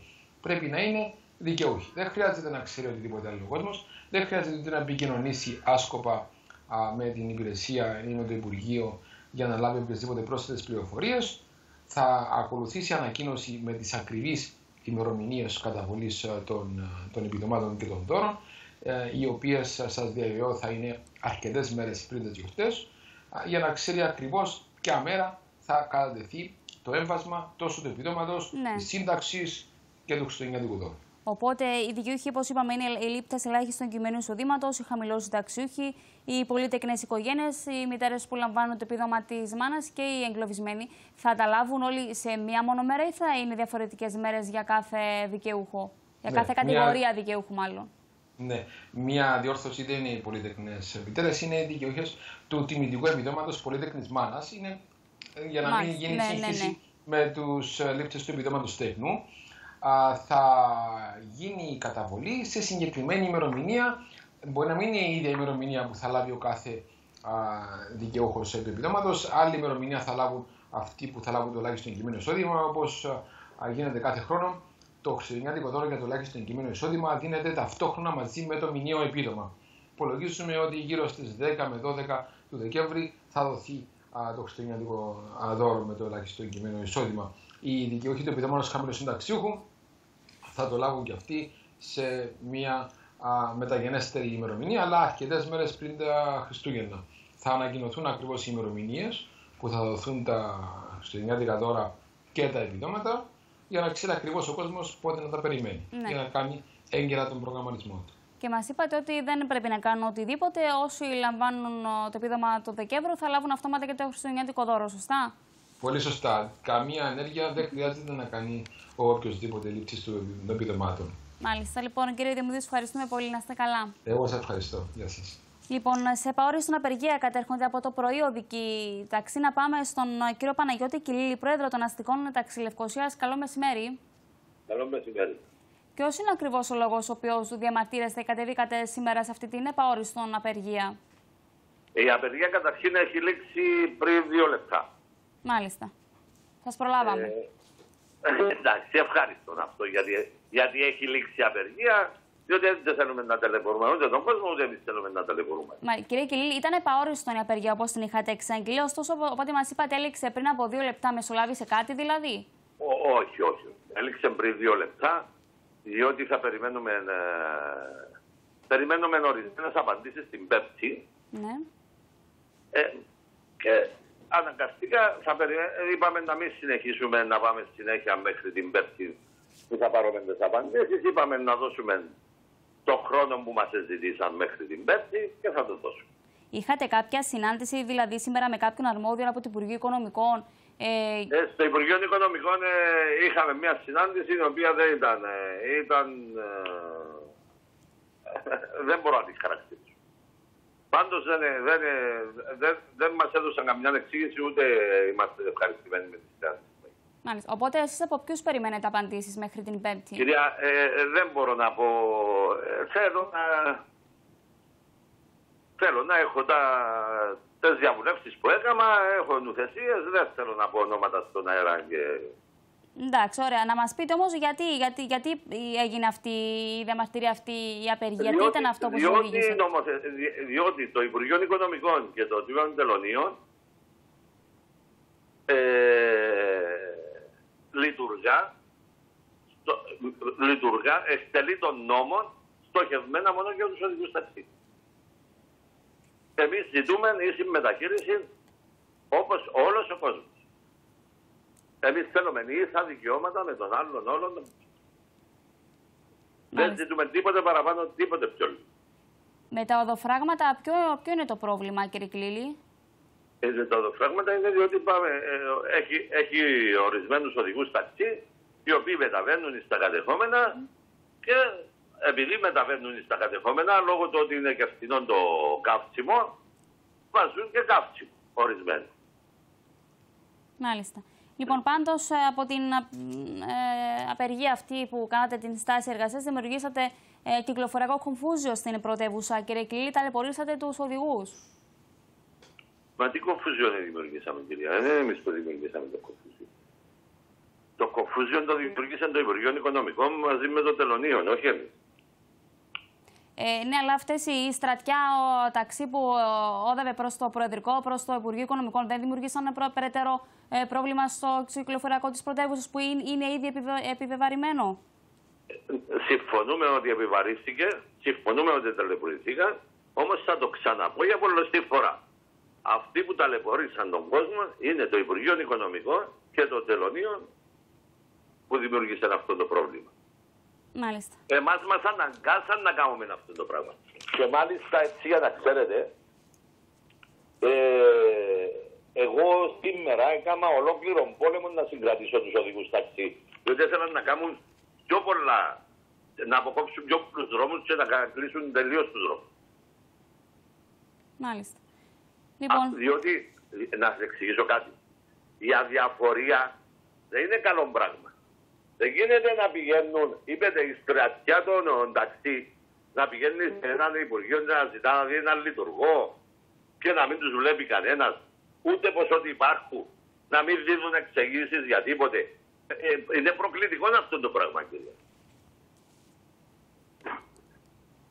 Μάλιστα. Δεν λοιπόν... μπορεί να μας εξηγήσει, και δεν μπορεί να μας εξηγήσει κανένας. Ούτε την νομοθεσία, ούτε γιατί έγινε, ούτε γιατί δεν έγινε. Μα δεν είναι έτσι. Τώρα, τώρα εσείς μας είπατε ότι περιμένετε απάντηση μέχρι την Πέμπτη. Αν δεν είναι η απάντηση αυτή που επιθυμείτε, η ιδανική λύση για εσάς, θα δούμε να κλιμακώνετε τα μέτρα. Ε, όχι την Παρασκευή, διότι δεν προλαβαίνουμε. Το, το, την Δευτέρα νομίζω να ξέρετε ότι θα είναι χειρότερα από σήμερα. Μάλιστα. Τα μέτρα. Λοιπόν, κύριε Κιλίλη, ευχαριστούμε αν, πολύ. Αν υπήρχε σήμερα ταλαιπωρία, τη Δευτέρα δεν θα είναι ταλαιπωρία. Θα είναι stop θα είναι blackout. Μάλιστα. Α ελπίσουμε να βρεθεί λύση να μην ταλαιπωρείτε ο κόσμος ούτε και εσείς, κύριε Κυρίλη. Ο Θεός να βοηθήσει. Ο Θεός να βοηθήσει να βάλει το σέβιν του. Μάλιστα. Διότι θα είναι, θα είναι ανεξέλεκτα τα, τα, τα, τα πράγματα πλέον. Δεν θα μπορώ να τα ελέγξω ούτε εγώ ίδιος που με ακούνε. Αντιλαμβάνομαι. Λοιπόν, κύριε Κιλίλη, ευχαριστούμε πολύ. Παρακαλώ. Να πάμε τώρα στην Ελλάδα, καθώς είχαμε ένα νεκρό και δύο τραυματίες σε δυστύχημα στον ηλεκτρικό του Αγίου Νικολάου. Η δική μηχανή Λίανση συγκρούστηκε με άδειο επιβατικό. Συρμοπάμε στον Γιώργο Φωκιανό. Γιώργο, καλό μεσημέρι. Καλό μεσημέρι από την Αθήνα, Χριστίνα, κυρίες και κύριοι. Να πούμε ότι το δυστύχημα σημειώθηκε στη γραμμή 1 του ηλεκτρικού σιδηροδρόμου στις 4 και 5 τα ξημερώματα, όταν η ειδική μηχανή λίανσης που είχε ξεκινήσει από την Κυφυσιά παρουσίασε βλάβη στα φρένα, με αποτέλεσμα να αρχίσει να κινείται ανεξέλεκτα, προτού ε, τελικά συγκρουστεί με άλλο τρένο στο ύψος του σταθμού του Αγίου Νικολάου, το οποίο βέβαια τρένο είχε τοποθετήσει εκεί η αρμόδια υπηρεσία της ε, Στασί, προκειμένου να σταματήσει την πορεία της. Να πούμε ότι στο τρένο επέβαιναν, ε, στο συνδυικό σειρμό επέβαιναν πέντε εργαζόμενοι της ε, Στασί, ε, οι οποίοι ε, στο, όταν στο Νέο Ηράκλειο άρχισαν να συνειδητοποιούν ότι υπήρξε βλάβη στο σύστημα πέδησης, πήδηξαν από τον εν κινήσει σειρμό. Ωστόσο, ένας 41χρονος εργαζόμενος δυστυχώς κατέληξε από τα τραύματά του. Χριστίνα. Γιώργο, σε ευχαριστούμε πολύ. Να πάμε τώρα να δούμε τι γίνεται με τον καιρό. Πάμε στη Μετεωρολογική Υπηρεσία. Κύριε Χατζηγεωργίου, καλό μεσημέρι. Καλό μεσημέρι. Πώς διαμορφώνεται σήμερα το, το σκηνικό του καιρού, Γενικά, κύριος έθριο καιρός, κάποιες αυξημένες ψηλές νεφώσεις που από ό,τι φαίνεται θα είναι για αρκετές μέρες στην περιοχή. Ε, υπάρχει και σκόνη στην ατμόσφαιρα ε, και αυτή φαίνεται πως ε, ίσως μείνει μέχρι και πέμπτη. Ε, θα το παρακολουθούμε. Ναι. Ε, τώρα από θερμοκρασίες, γενικά θερμοκρασίες είμαστε πάνω από τα κανονικά, γύρω στους 28 βαθμούς με 27 στο εσωτερικό, γύρω στους 26 στα παράλια, 18 στα ψηλότερα ορεινά. Ε, λίγο πιο κάτω για αύριο, δηλαδή 26 βαθμούς στο εσωτερικό, 25 παράλια και 17 στα ψηλότερα ορεινά.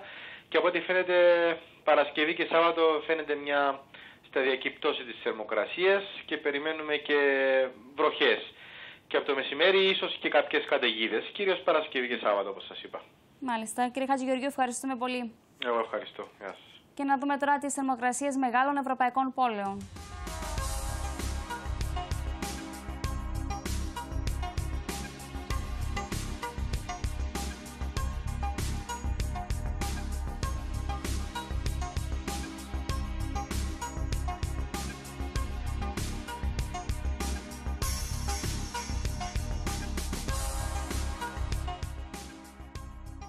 Μικρή διακοπή και επιστρέφουμε.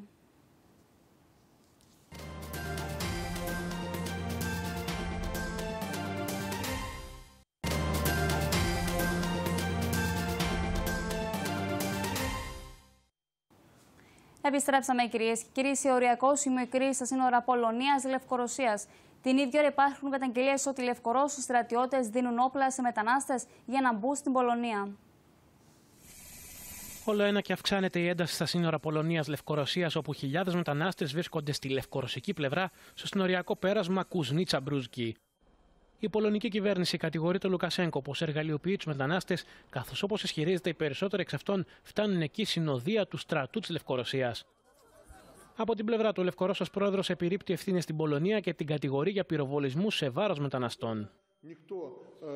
Οι δημοσιογράφοι μας αλλά και όλοι οι άλλοι έχουν δίκιο που συμπεραίνουν ότι αυτή τη σύγκρουση την έχει ανάγκη η Πολωνία. Έχει πολλά εσωτερικά προβλήματα, έχει θέματα και με την Ευρωπαϊκή Ένωση. Ήδη στα σύνορα υπάρχει πολλοί κόσμος αλλά και πυροβολισμοί εναντίον μεταναστών. Δεν θέλουμε σύγκρουση στα σύνορά μας. Το Euronews βρίσκεται στην πολωνική πλευρά των συνόρων με την απεσταλμένη Βαλερή Γκοριά να μεταφέρει την κατάσταση όπως αυτή εξελίσσεται στην περιοχή. Υπάρχουν πολλές ανησυχητικές πληροφορίες που έρχονται από τη Λευκορωσία. Άκουσα για παράδειγμα ότι οι Λευκορώσοι στρατιώτες έδωσαν όπλα σε κάποιους μετανάστες και φέρεται να τους είπαν να περάσουν τα σύνορα και να μην διστάσουν να τα χρησιμοποιήσουν εάν τους σταματήσει η πολωνική αστυνομία. Έρχονται όμως και κάποιες αναφορές ότι κάποιοι ζητούνται άσυλο στέλνουν μήνυμα ότι δεν θα υποκύψουν σε αυτές τις πιέσεις και κάνουν ό,τι μπορούν για να αποφευχθεί η βία. Η συνοριακή αρχή της Λευκορωσίας ανακοίνωσε πως οι μετανάστες οργανώθηκαν μόνοι τους και δεν έχουν καμία βοήθεια, ενώ ο εκπρόσωπος του Υπουργείου Εξωτερικών της χώρας δήλωσε ότι οι κατηγορίες για εργαλειοποίηση των μεταναστών είναι παράλογες.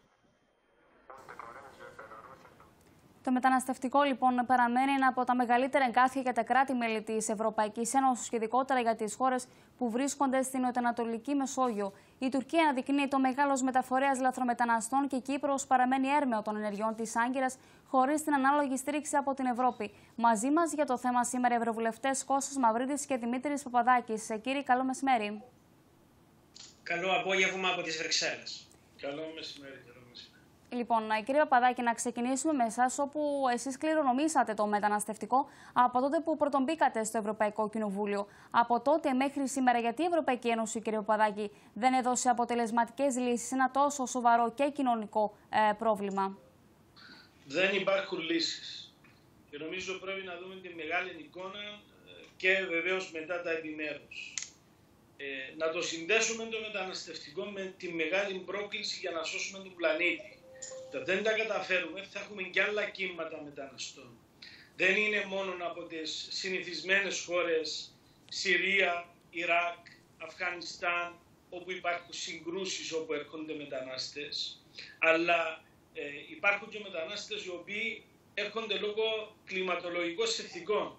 Άρα, εάν δούμε αυτά τα, τα οποία εξελίσσονται μπροστά μας, να δούμε με την ε, πείνα, με την τρομοκρατία, με τους πολέμους, όλοι αυτοί οι παράγοντες όπου προκαλούν τους λόγους για την οποία μεταναστεύουν, τότε θα μπορέσουν να δώσουμε κάποιες απαντήσεις, αλλά συνολική λύση δεν πρόκειται ποτέ να δοθεί και δεν μπορεί να δοθεί.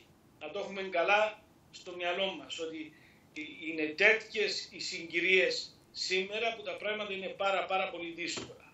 Όσον αφορά την Ευρώπη και την Κύπρο σε σχέση με την ε, εργαλειοποίηση των παράτυπων μεταναστών, γιατί δεν υπάρχουν λαθρομετανάστες, παράτυποι μετανάστες υπάρχουν, η Τουρκία παίζει ένα παιχνίδι. Τους φέρνει στο κατεχόμενο αεροδρόμιο της Τύμπου για να τους οθήσει να έρθουν στις ελεύθερες περιοχές. Εμείς αργήσαμε να αναδείξουμε το πρόβλημα το οποίο έχει. Το Κώστας το γνωρίζει πολύ καλά όταν πριν δύο χρόνια αναδείξαμε, ξεκινήσαμε να αναδεικνύουμε το πρόβλημα, το τεράστιο πρόβλημα που είχε η Κύπρος. Τα προηγούμενα χρόνια δεν λέγαμε τίποτα. Παρόλο που είμαστε από τις πρώτες χώρες στους αιτητές πολιτικού ασύλου.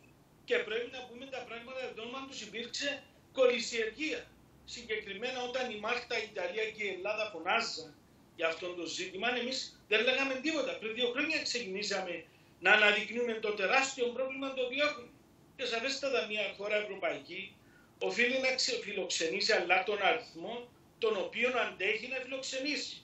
Πού είναι αναδιανομή, πού υπάρχει η κοινοτική αλληλεγγύη να αναλάβουν και οι υπόλοιπες χώρες της Ευρώπης το βάρος το οποίο τους αναλογεί από την μετανάστευση. Αυτά τα ζητήματα δεν έχουν επιληθεί. Υπάρχει ακόμη η Συμφωνία του Δουβλίνου, η οποία είναι ε, αποτυχημένη πλήρως και δίνει τα βάρη μόνο στις χώρες πρώτης υποδοχής των μεταναστευτικών ρευμάτων, με αποτέλεσμα να υποφέρουν οι χώρες που βρίσκονται στα σύνορα.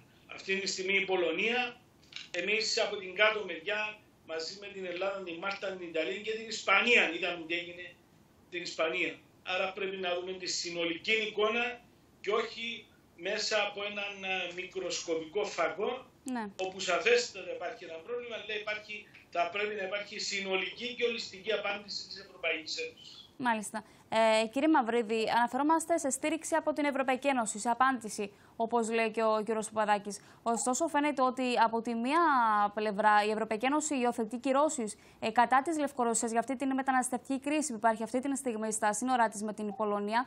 Ε, με την Τουρκία όμως ισχύει κάτι άλλο. Γιατί δεν υιοθετείται μια οριζόντια αντιμετώπιση του μεταναστευτικού προβλήματος προ όλε τι χώρες με τον, με τον ίδιο τρόπο, με τον ίδιο ισοδύναμο τρόπο.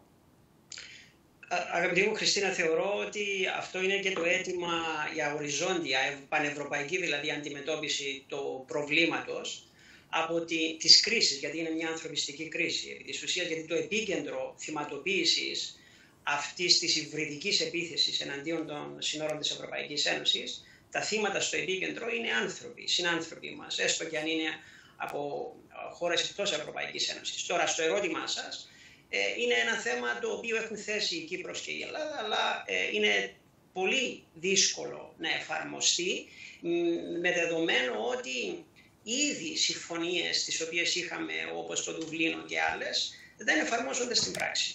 Επομένως θα πρέπει να υπάρχει ένας μηχανισμός και θα εξηγήσω τι εννοώ, ο οποίος να μπορεί να παρεμβαίνει σε πανευρωπαϊκό επίπεδο χωρίς να χρειάζεται την πολιτική έγκριση των επιμέρους κρατών μελών. Τώρα, εκείνο που θέλω να τονίσω εδώ είναι ότι ε, η, αυτή η όλη η ανθρωπιστική κρίση δυστυχώς περιλαμβάνει στην περιραίουσα ατμόσφαιρα και μια μεγάλη α, παραπληροφόρηση από διάφορους εμπλεκόμενους. Γιατί δεν έχουμε να κάνουμε με δημοκρατικά καθεστώτα. Έχουμε να κάνουμε με κράτη τα οποία, αναφέρομαι σε τρίτες χώρες της περιοχής, οι οποίες είναι κάτω από ουσιαστικά πολιταρχικά καθεστώτα και μάλιστα ο πρώτος διδάξας, διακινητής, κρατικός διακινητής ανθρώπων, μεταναστών, εργαλειοποιώντας δηλαδή το μεταναστευτικό ζήτημα σε ένα υβριδικό πόλεμο εναντίον της Ευρωπαϊκής, μια υβριδική επίθεση εναντίον συγκεκριμένων κρατών μέλων, όπως είναι η Κύπρος και η Ελλάδα ιδιαίτερα, αλλά γενικότερα της Ευρωπαϊκής Ένωσης, ήταν ο Ερτογάν. Αυτό ο οποίος εκβιάζοντας την Ευρωπαϊκή Ένωση, δυστυχώς κάποιοι Ευρωπαίοι ηγέτες είτε γιατί το επιθυμούσαν, είτε υπό την κάλυψη αυτού του εκβιασμού, δηλαδή αξιοποιώντας τα, στα εισαγωγικά ή εκμεταλλευόμενοι αυτόν τον εκβιασμό, ε, προσπαθούσαν να συνεχίσουν την κατευναστική πολιτική προς, την, προς τον Ερτογάν. Τώρα, με αυτός ως μάθημα, δυστυχώς δεν μάθαμε, αλλά πάθαμε και τα έχουμε τώρα ενώπιό μας και πάλι από ένα άλλο καθεστώς παρόμοιο με του Ερτογάν στη Λευκορωσία. Θα πω όμως δύο κουβέντες για το τι μπορεί να γίνει.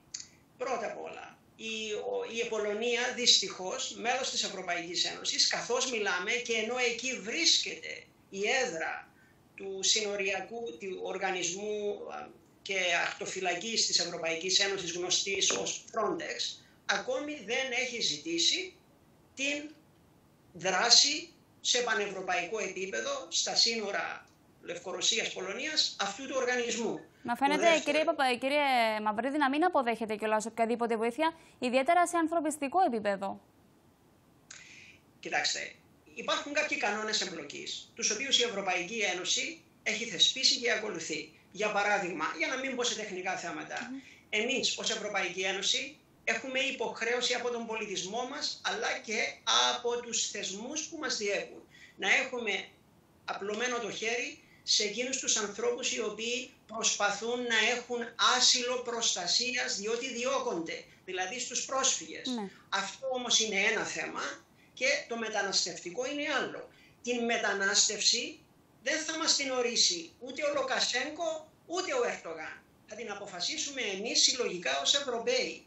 Λοιπόν, όταν ακούω ε, διάφοροι και είχα παρακολουθήσει και το ρεπορτάζ από τον Λουκασέγκο να κάνει δηλώσεις για τα θέματα της Ευρωπαϊκής Ένωσης, ε, το θεωρώ, και, για να μην πω κάτι χειρότερο, το θεωρώ ότι είναι εξωπραγματικό να προσπαθεί να μας ορίσει εμάς ποιες θα είναι οι σωστές πολιτικές μας. Όμως, καθώς μιλάμε τώρα, ε, θέλω να πω ότι παρά την παραπληροφόρηση υπάρχουν κάποια γεγονότα. Έγινε σκόπιμη ή αν θέλετε με κλειστά μάτια η μεταφορά όλων αυτών των μεταναστών στην περιοχή εκείνη. Και σε αυτό συμμετείχα και κρατικές αερογραμμές της Λευκορωσίας, ε, του Τουπάι και της Τουρκίας. Και μάλιστα και οι μυστικές υπηρεσίες είχαν το ρόλο τους. Το δεύτερο που θέλω να τονίσω είναι ότι ακόμα και τις προάλλες, δεν έχω νέα πληροφόρηση, το καθεστώς της Λευκορωσίας παρεμπόδιζε όσους επιθυμούσαν να επιστρέψουν πίσω στις χώρες τους και ιδιαίτερα τους κουρδικής καταγωγής από το Ιράκ.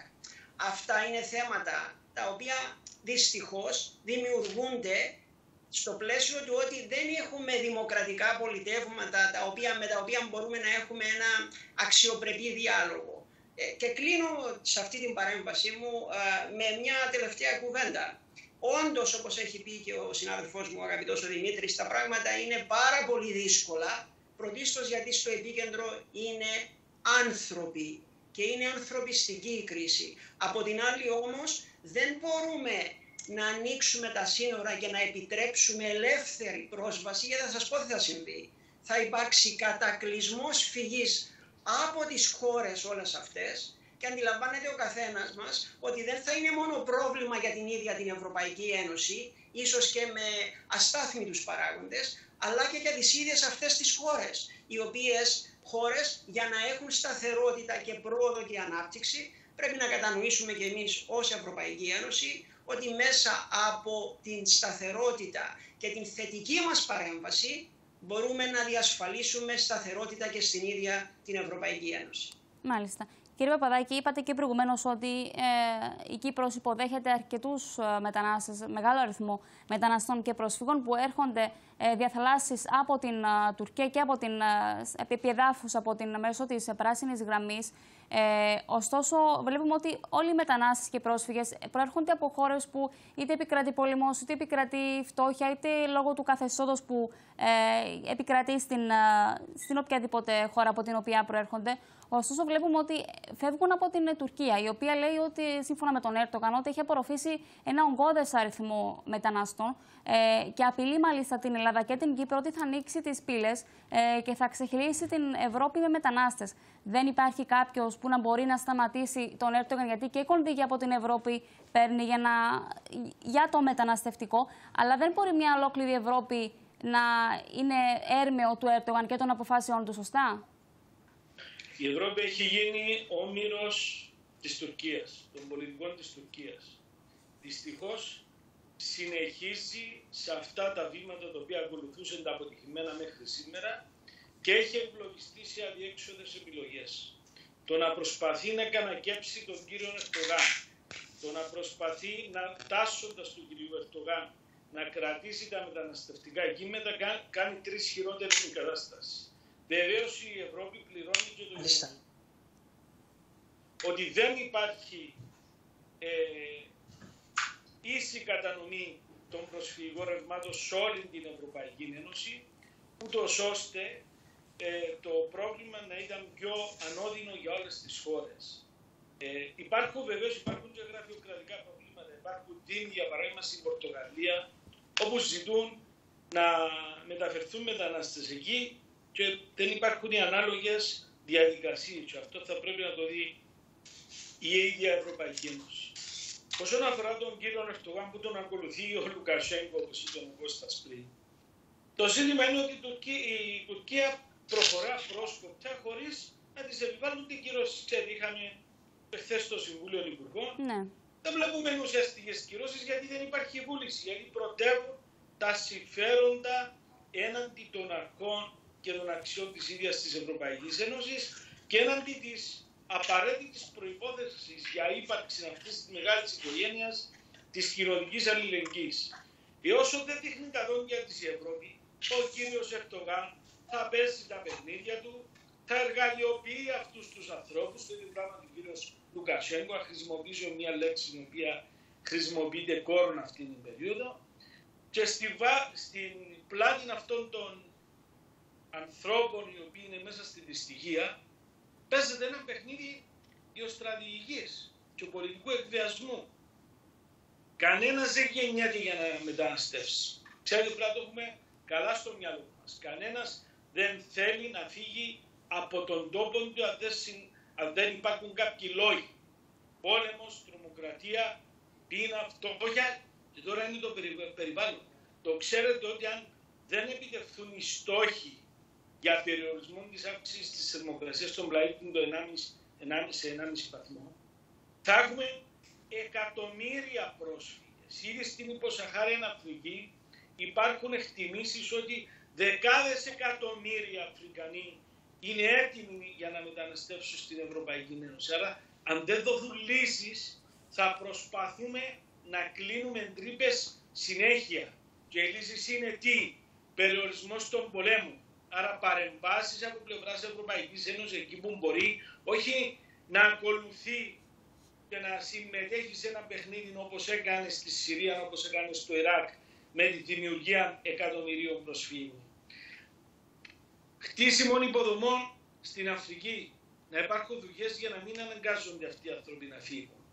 Πάμε, χτίζουμε εκεί υποδομές ως Ευρωπαϊκή Ένωση, διαθέτουμε εκατοντάδες εκατομμύρια το χρόνο και την ίδια στιγμή πάνε οι ευρωπαϊκές εταιρείες και ανταγωνίζονται αυτούς τους ανθρώπους με αποτέλεσμα να κλείσουν τις μικρές τους επιχειρήσεις. Υπάρχουν συγκεκριμένες επιχειρήσεις που, που δρούν κατά αυτόν τον τρόπο, ευρωπαϊκές επιχειρήσεις. Άρα όταν δεν κάνουμε αυτά που οφείλουμε να κάνουμε, θα έχουμε το πρόβλημα να είναι απάνω στο σβέρκο μας συνέχεια.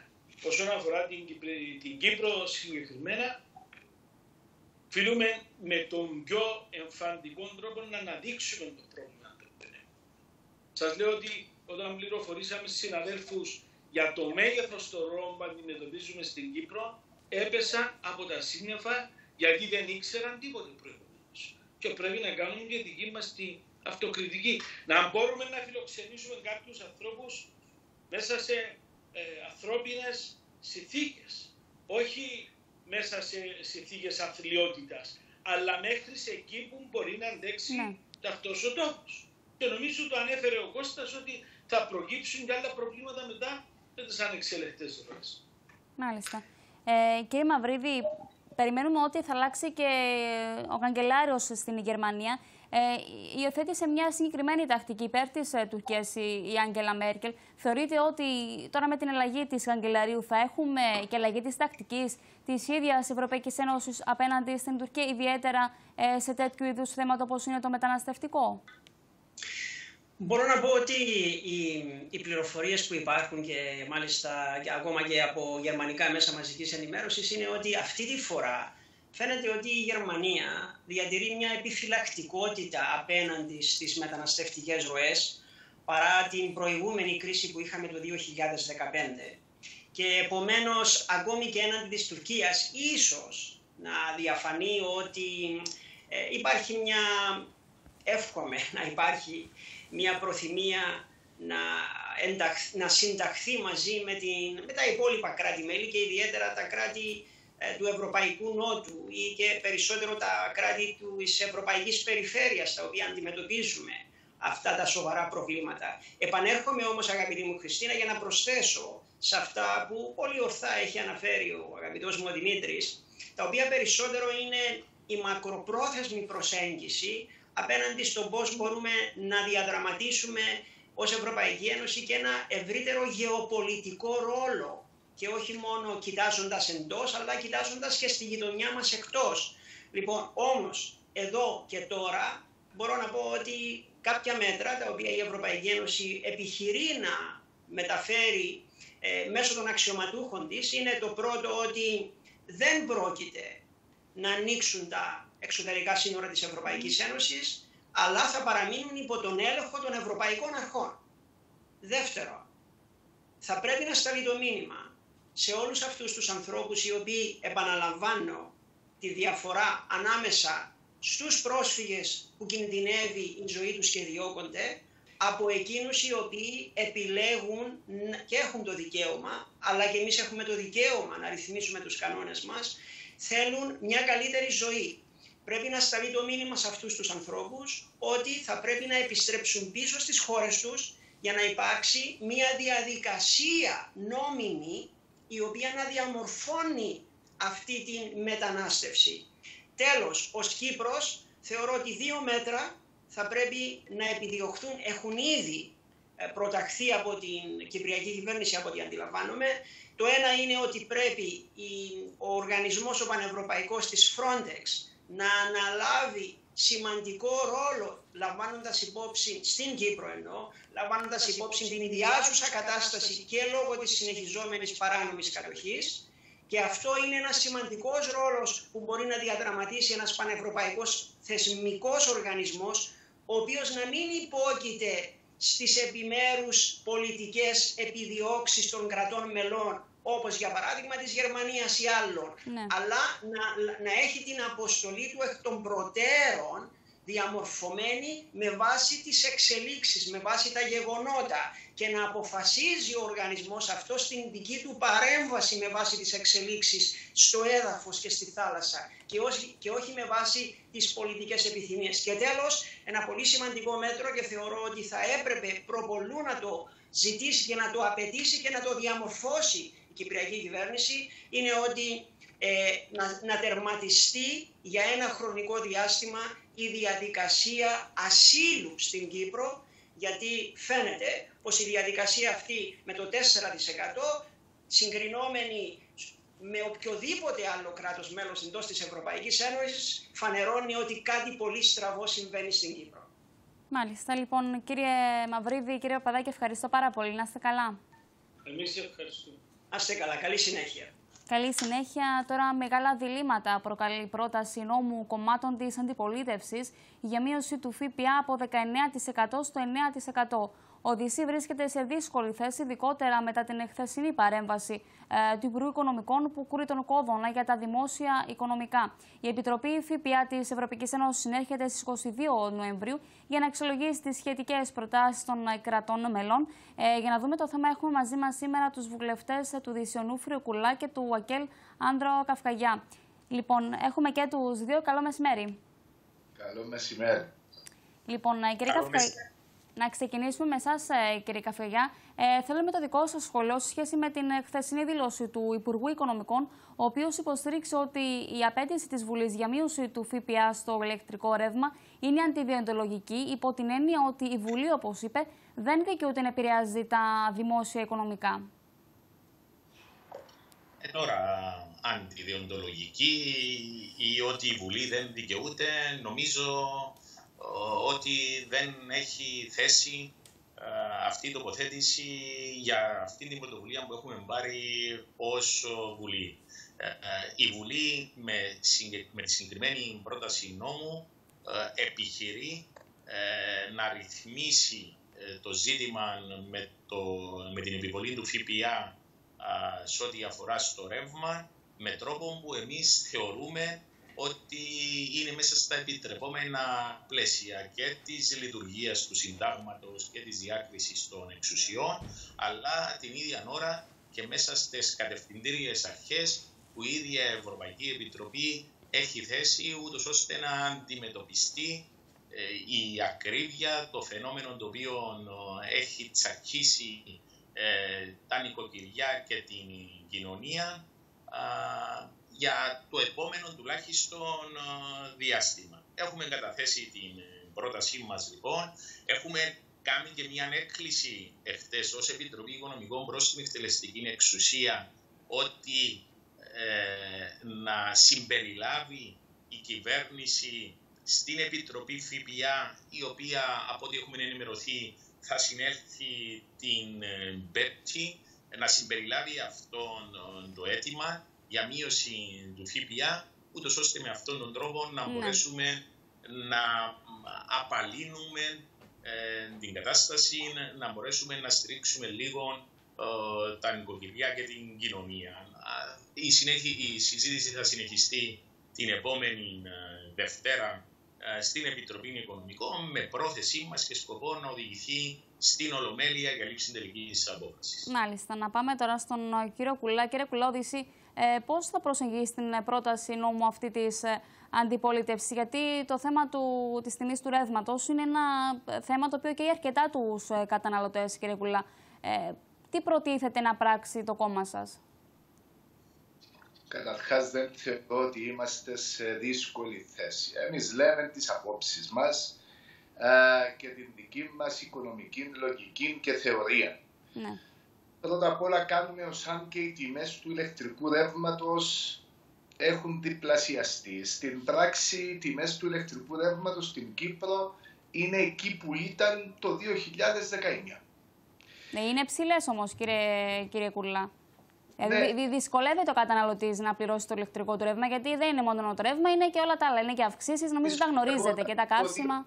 Άρα δυσκολευόταν και προηγουμένως. Ε, ωστόσο, δεν είναι πάλι αυτό το θέμα. Αυτό που θα έλεγα είναι ότι έχουμε ήδη μειώσει εμείς το ρεύμα 10% και πέρσι 6 μήνες και φέτος άλλους 4 μήνες αυτό λέει και η Ευρωπαϊκή Ένωση για προσωρινά αλλά και στοχευμένα μέτρα.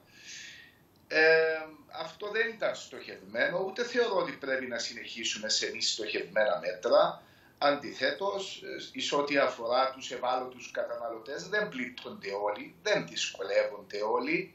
Προσωπικά δεν νιώθω ότι δυσκολεύτηκα να πληρώνω το ρεύμα και πιστεύω πολύ Δυσκολεύονται οι χαμηλόμισθοι, κύριε Κουλά, αυτό θέλω να πω. Ακριβώς. Ωραία. Συμφωνώ. Συμφωνώ. Άρα σε αυτούς πρέπει να επικεντρώσουμε την προσοχή μας. Οι πόροι μας, αντί να διανέμονται σε πάρα πολλούς και αστόχευτα, που λέω ότι ήδη το κάναμε και ναι. αυτό, δεν μπορεί να συνεχίσουμε στην ίδια λογική των αστόχευτων ε, προσεγγίσεων.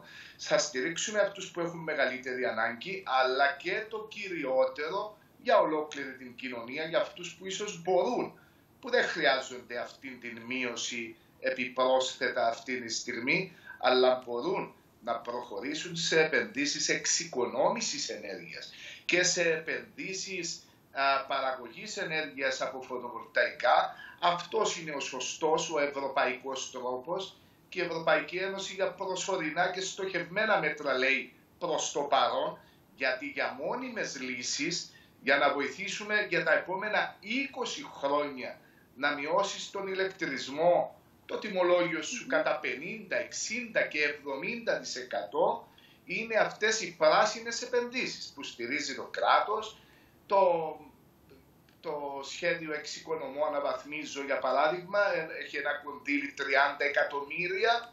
Είναι περισσότερα από την μείωση 4 μηνών που θα κάνει η αρχή ηλεκτρισμού.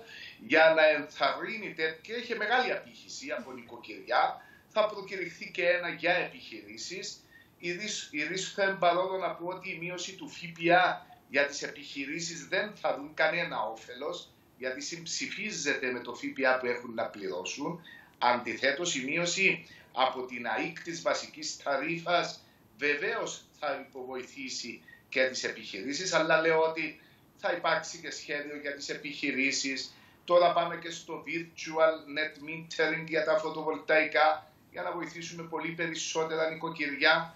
Άρα αντί μιας βραχίδιας μείωσης, βραχίδιου ωφέλους για τα νοικοκυριά και τις επιχειρήσεις, εμείς θέλουμε να πάμε στη μόνιμη ρύθμιση, στο μόνιμο όφελος. Και ακόμα και αυτοί που δεν μπορούν και δεν θα κάνουν τέτοιου είδους επενδύσεις, κάνοντας οι άλλοι με την ενθάρρυνση του κράτους και μειώνοντας τους ρήπους, θα μπορέσει και η ΑΕΚ να μειώσει το γενικό ναι. της τυπολόγιο. Για όλους ξανά πίσω.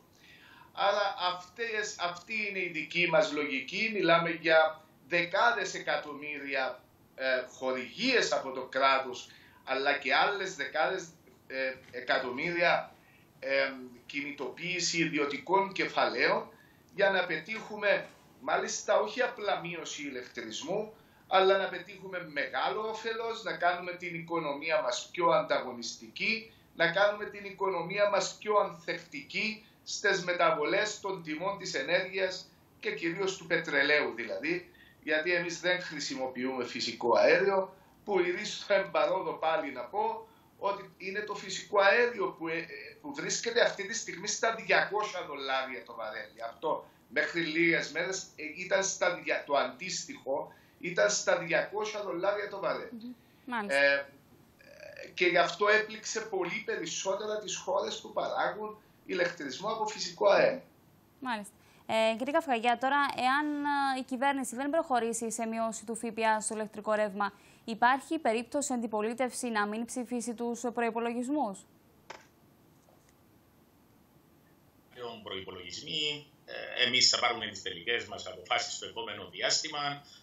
Αντιλαμβάνεστε ότι από τη στιγμή που οι προϋπολογισμοί παραμένουν στο ίδιο πλαίσιο και οι προϋπολογισμοί του 2022 στο ίδιο πλαίσιο με τους προϋπολογισμούς των προηγούμενων χρόνων ε, και για τους λόγους που καταψηφίσαμε τους προϋπολογισμούς τα προηγούμενα χρόνια από τη στιγμή που συντρέχουν αυτοί οι λόγοι, η φιλοσοφία είναι η ίδια της κυβέρνησης, εμείς ε, προφανώς ε, θα κινηθούμε στην ίδια κατεύθυνση. Όμως επιτρέψτε μου να πω ναι ένα-δυο πράγματα σε όλα όσα είχε αναφέρει ο κύριος Κουλάς προηγουμένως.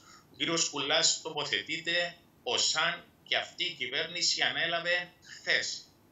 Τοποθετείται για την ανάγκη να διαμορφωθούν, να διαμορφωθούν πολιτικές οι οποίες θα στηρίζουν τις ανανεώσιμες πηγές ενέργειες και θα ανταποκρίνονται στις ανάγκες των καιρών που να συμφωνήσω ότι είναι αυτές οι πολιτικές οι οποίες θα κάνουν τη διαφορά. Αλλά είναι γιατί η κυβέρνηση απότυχε σε αυτά τα κεφαλαιώδες ε, ζητήματα που είμαστε σε αυτό το σημείο. Και είναι εκπληκτικό το γεγονός ότι ακόμα και σήμερα δεν αναγνωρίζεται από πλευράς της κυβέρνησης και του Δημοκρατικού Συναγερμού το γεγονός ότι υπάρχει ακρίβεια. Και σε ό,τι αφορά στον ηλεκτρισμό, υπάρχει ακρίβεια η οποία αγγίζει το 30% συγκρινόμενα α, τα τέλη και το τι καταβάλαμε σε ό,τι αφορά στον ηλεκτρισμό. Οπότε είναι η αποτυχία της κυβέρνησης να διαχειριστεί τις ανανεώσιμες πηγές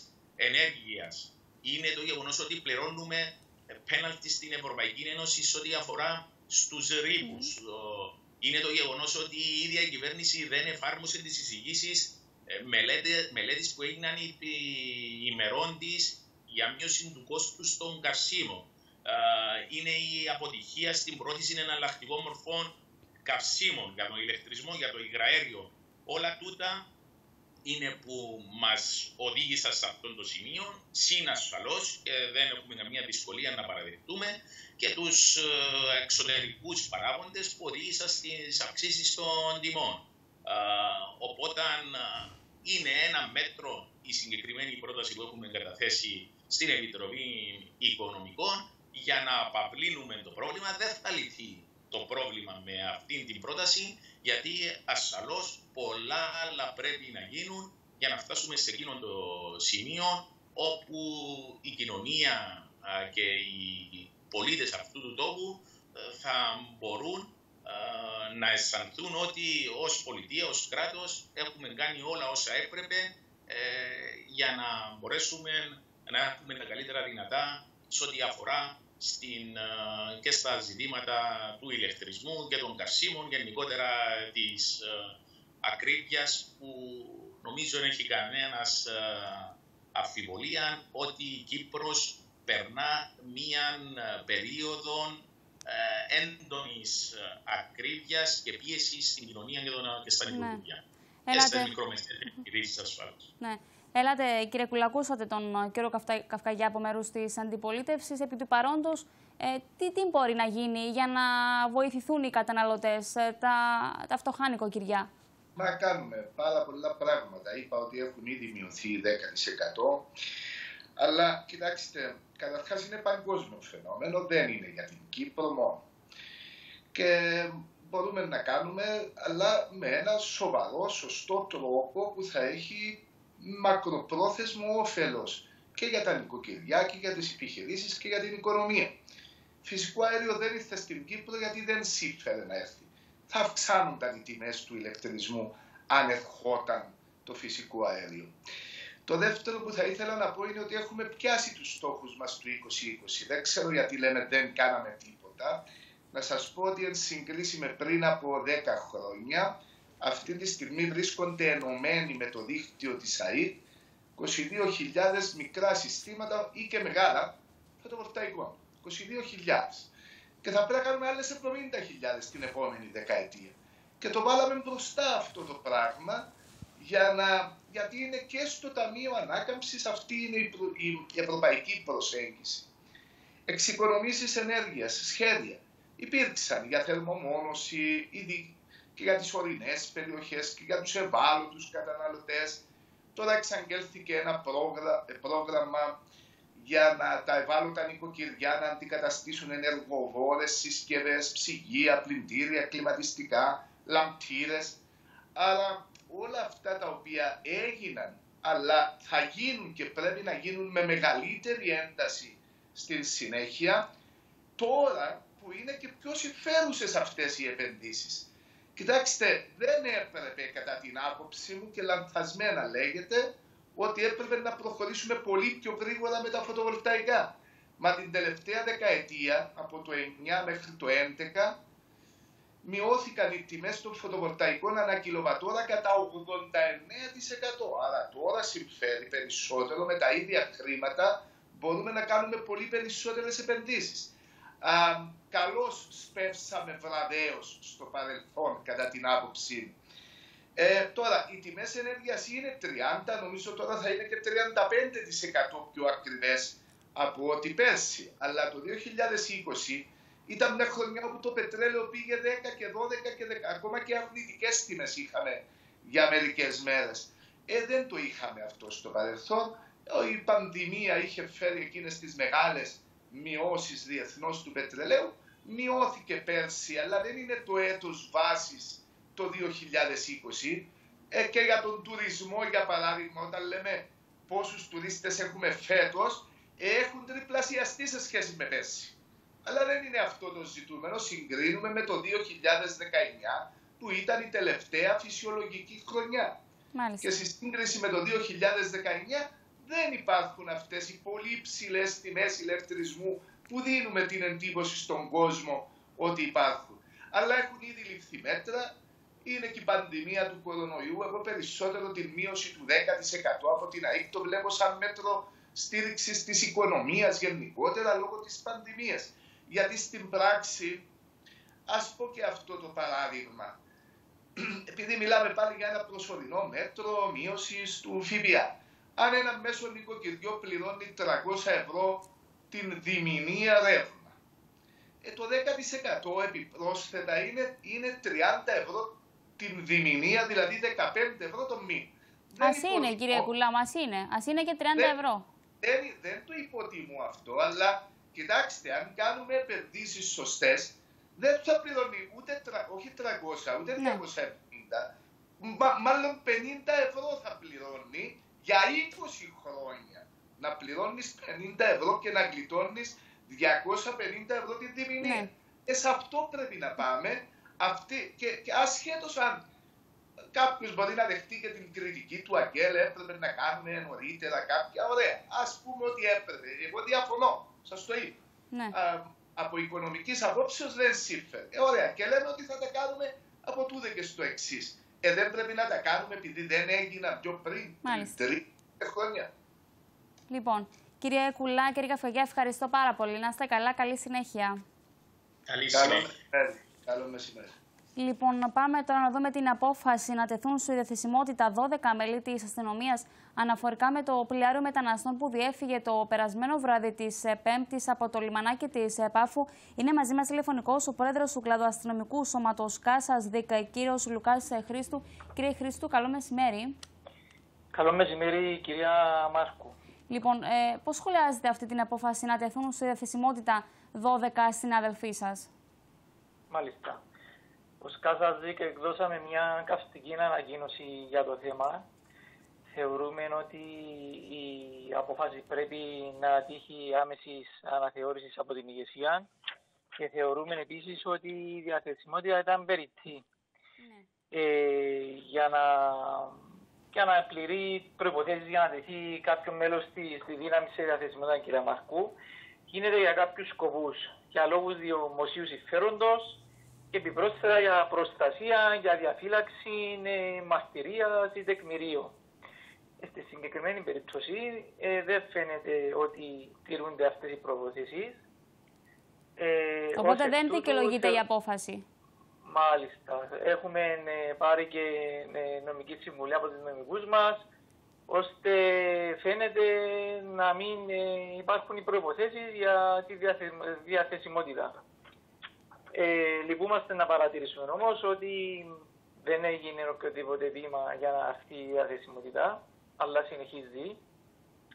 Και αυτό σημαίνει ότι ταλαιπωρεί ακόμη 12 οικογένειες ε, συναδέλφων.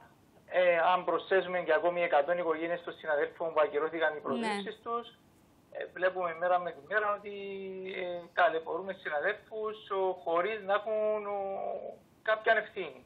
Μάλιστα. Εσάς τα δικά σας βήματα από εδώ και στο εξή μετά και από αυτή την απόφαση, ποια θα είναι; Σίγουρα, κυρία Μάρκου, ε, εμείς επιθυμούμε ω Κασαζίκ να υπάρχει συνεργασία με την ηγεσία και να μην είμαστε ε, στην αντίπερα όχθη.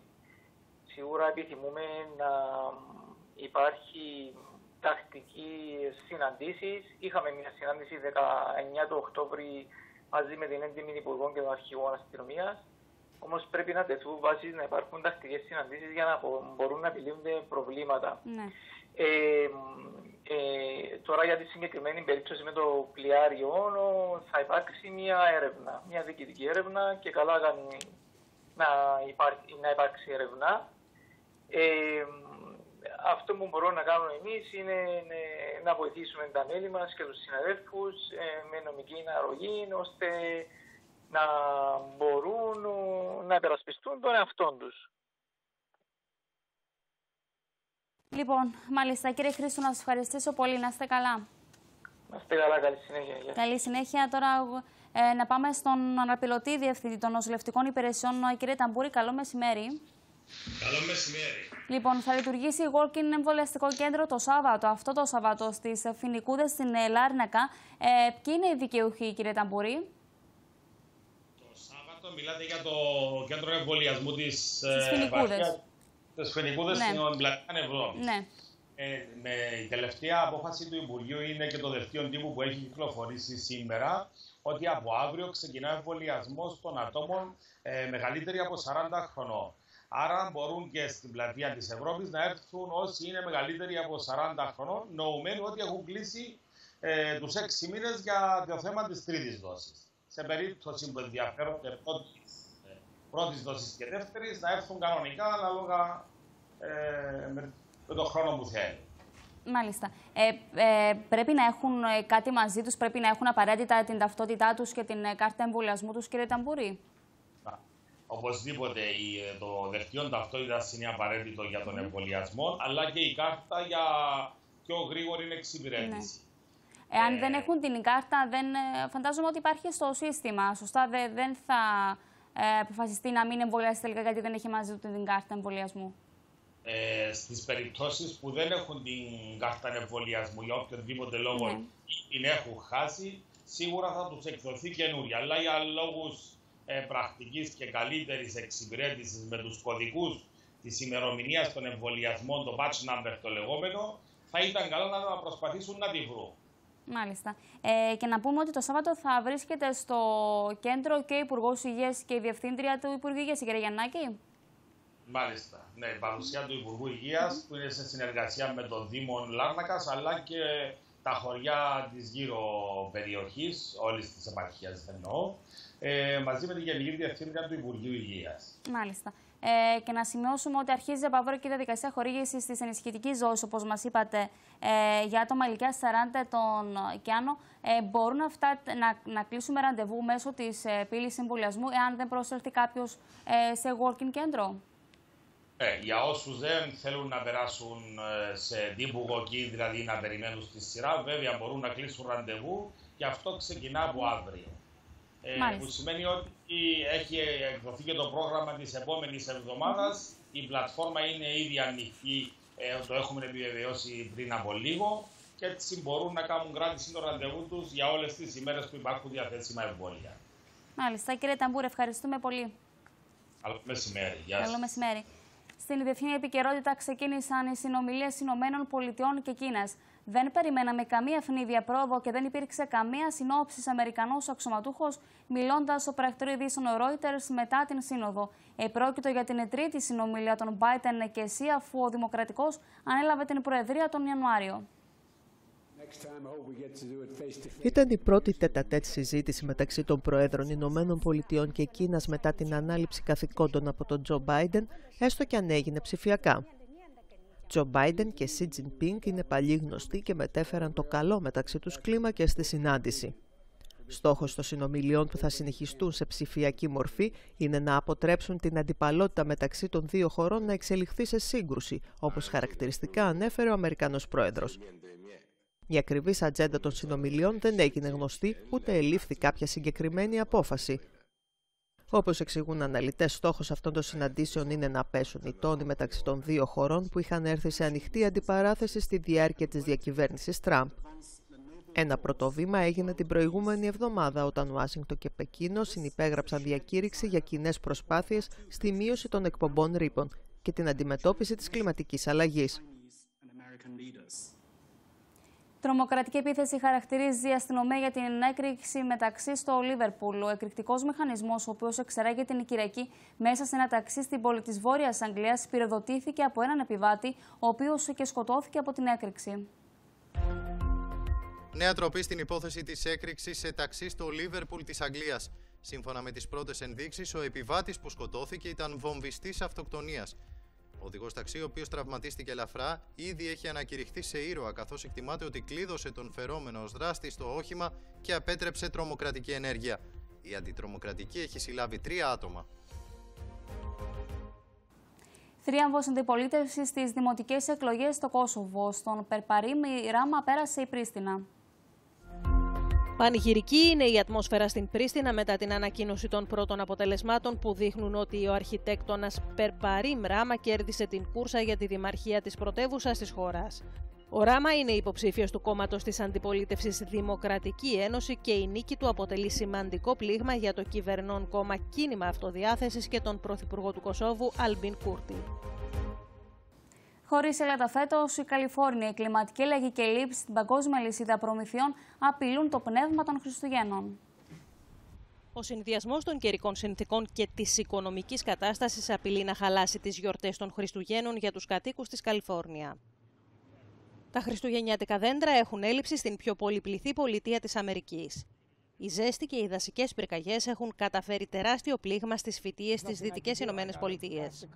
Δεν μπορώ να κάνω τίποτα. Πρέπει να ρίξω το κόστος. Πάντα ήμουν δίκαιος. Δίνω ένα καλό δέντρο σε καλή τιμή. Δεν ανησυχώ γι' αυτό. Οι ελλείψεις στην Καλιφόρνια δεν περιορίζονται μόνο στα έλατα. Μπορεί να χρειαστούν ακόμη και 10 χρόνια από τη στιγμή που ένα έλατο θα φυτευτεί μέχρι να μεγαλώσει αρκετά ώστε να πουληθεί. Η άμεση αντίδραση στις ελλείψεις μπορεί να καταστεί δύσκολη. Η σοδιά μειώθηκε κατά 40% για όλη τη βιομηχανία. Έχουμε έτσι κι αλλιώς ελλείψεις σε δέντρα. Θα δείτε πολλές εκτάσεις να μην έχουν δέντρα ή να έχουν πολύ λίγα. not have trees or be very limited on what they're going to have. Ακόμα όμως και τα ψεύτικα έλατα είναι δυσέβρετα. Σε αυτό το σημείο είναι που η παγκόσμια οικονομία και οι ελλείψεις στην αλυσίδα προμηθειών επηρεάζουν το πνεύμα των Χριστουγέννων. Μόνο στην Κίνα, το βασικό εργοστάσιο παραγωγής πλαστικών χριστουγεννιάτικων δέντρων δήλωσε ότι 150 κοντέινερ με έλατα αξία 3 εκατομμυρίων δολαρίων περιμένουν να φύγουν από τις αποθήκες του εργοστασίου. Διαφημιστικό διάλειμμα και επιστρέφουμε.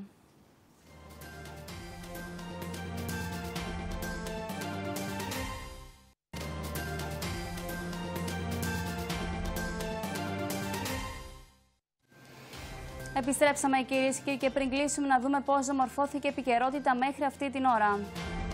Η αιμονή της Τουρκίας για εγγύηση και στρατεύματα ευθύνεται για τον ναυάγιο ο Κραν Μοντάνα, τονίζει ο πρόεδρος της Δημοκρατίας. Στην Κύπρο, σήμερα ο Νίκος Δέντια συναντήθηκε με τον Νίκο Χριστοδουλίδη, επιτάπητος στις τουρκικές προκλήσεις και το Κυπριακό. Αισιοδοξία για προβλέψιμο και σταθερό περιβάλλον ασφάλεια στην Ανατολική Μεσόγειο, εξέφρασε ο Νίκος Χριστοδουλίδη. Δυσαρεστημένος ο Υπουργός Εξωτερικών για την καθυστέρηση αντίδρασης από την Ευρωπαϊκή Ένωση για το Βαρόσι. Διπλασιάστηκαν οι ασθενείς με COVID σε μονάδες αυξημένης φροντίδας και εντατικής θεραπείας σε 10 ημέρες. Πράσινο φως από την Pfizer για χρήση πατέντας χαπιού COVID-19 παγκοσμίως. Έληξε η απεργία των οδηγών ταξί στην πρωτεύουσα. Αναμένουν απαντήσεις και λόγος προχωρούν. Αναστάλθηκε η ποινική οδήξη για τρεις κατηγορούμενους στην υπόθεση με το κατασκοπευτικό βαν. Η απόφαση του Γενικού Εισαγγελέα προκάλεσε την έντονη αντίδραση του ΑΚΕΛ. Μπαρά διαρρήξεων και κλοπώνων σε σχολεία της επαρχίας Λευκοσία. Ένας νεκρός και δύο τραυματίες σε δυστύχημα στον ηλεκτρικό του Αγίου Νικολάου στην Ελλάδα. Νέα ένταση και ανταλλαγή πυρών στη σύνορα Αρμενία-Αζερβαϊτζάν.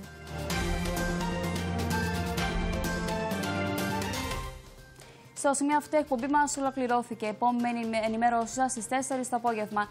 Ραντεβού ξανά αύριο στη 1 το μεσημέρι. Γεια σας, καλό υπόλοιπο.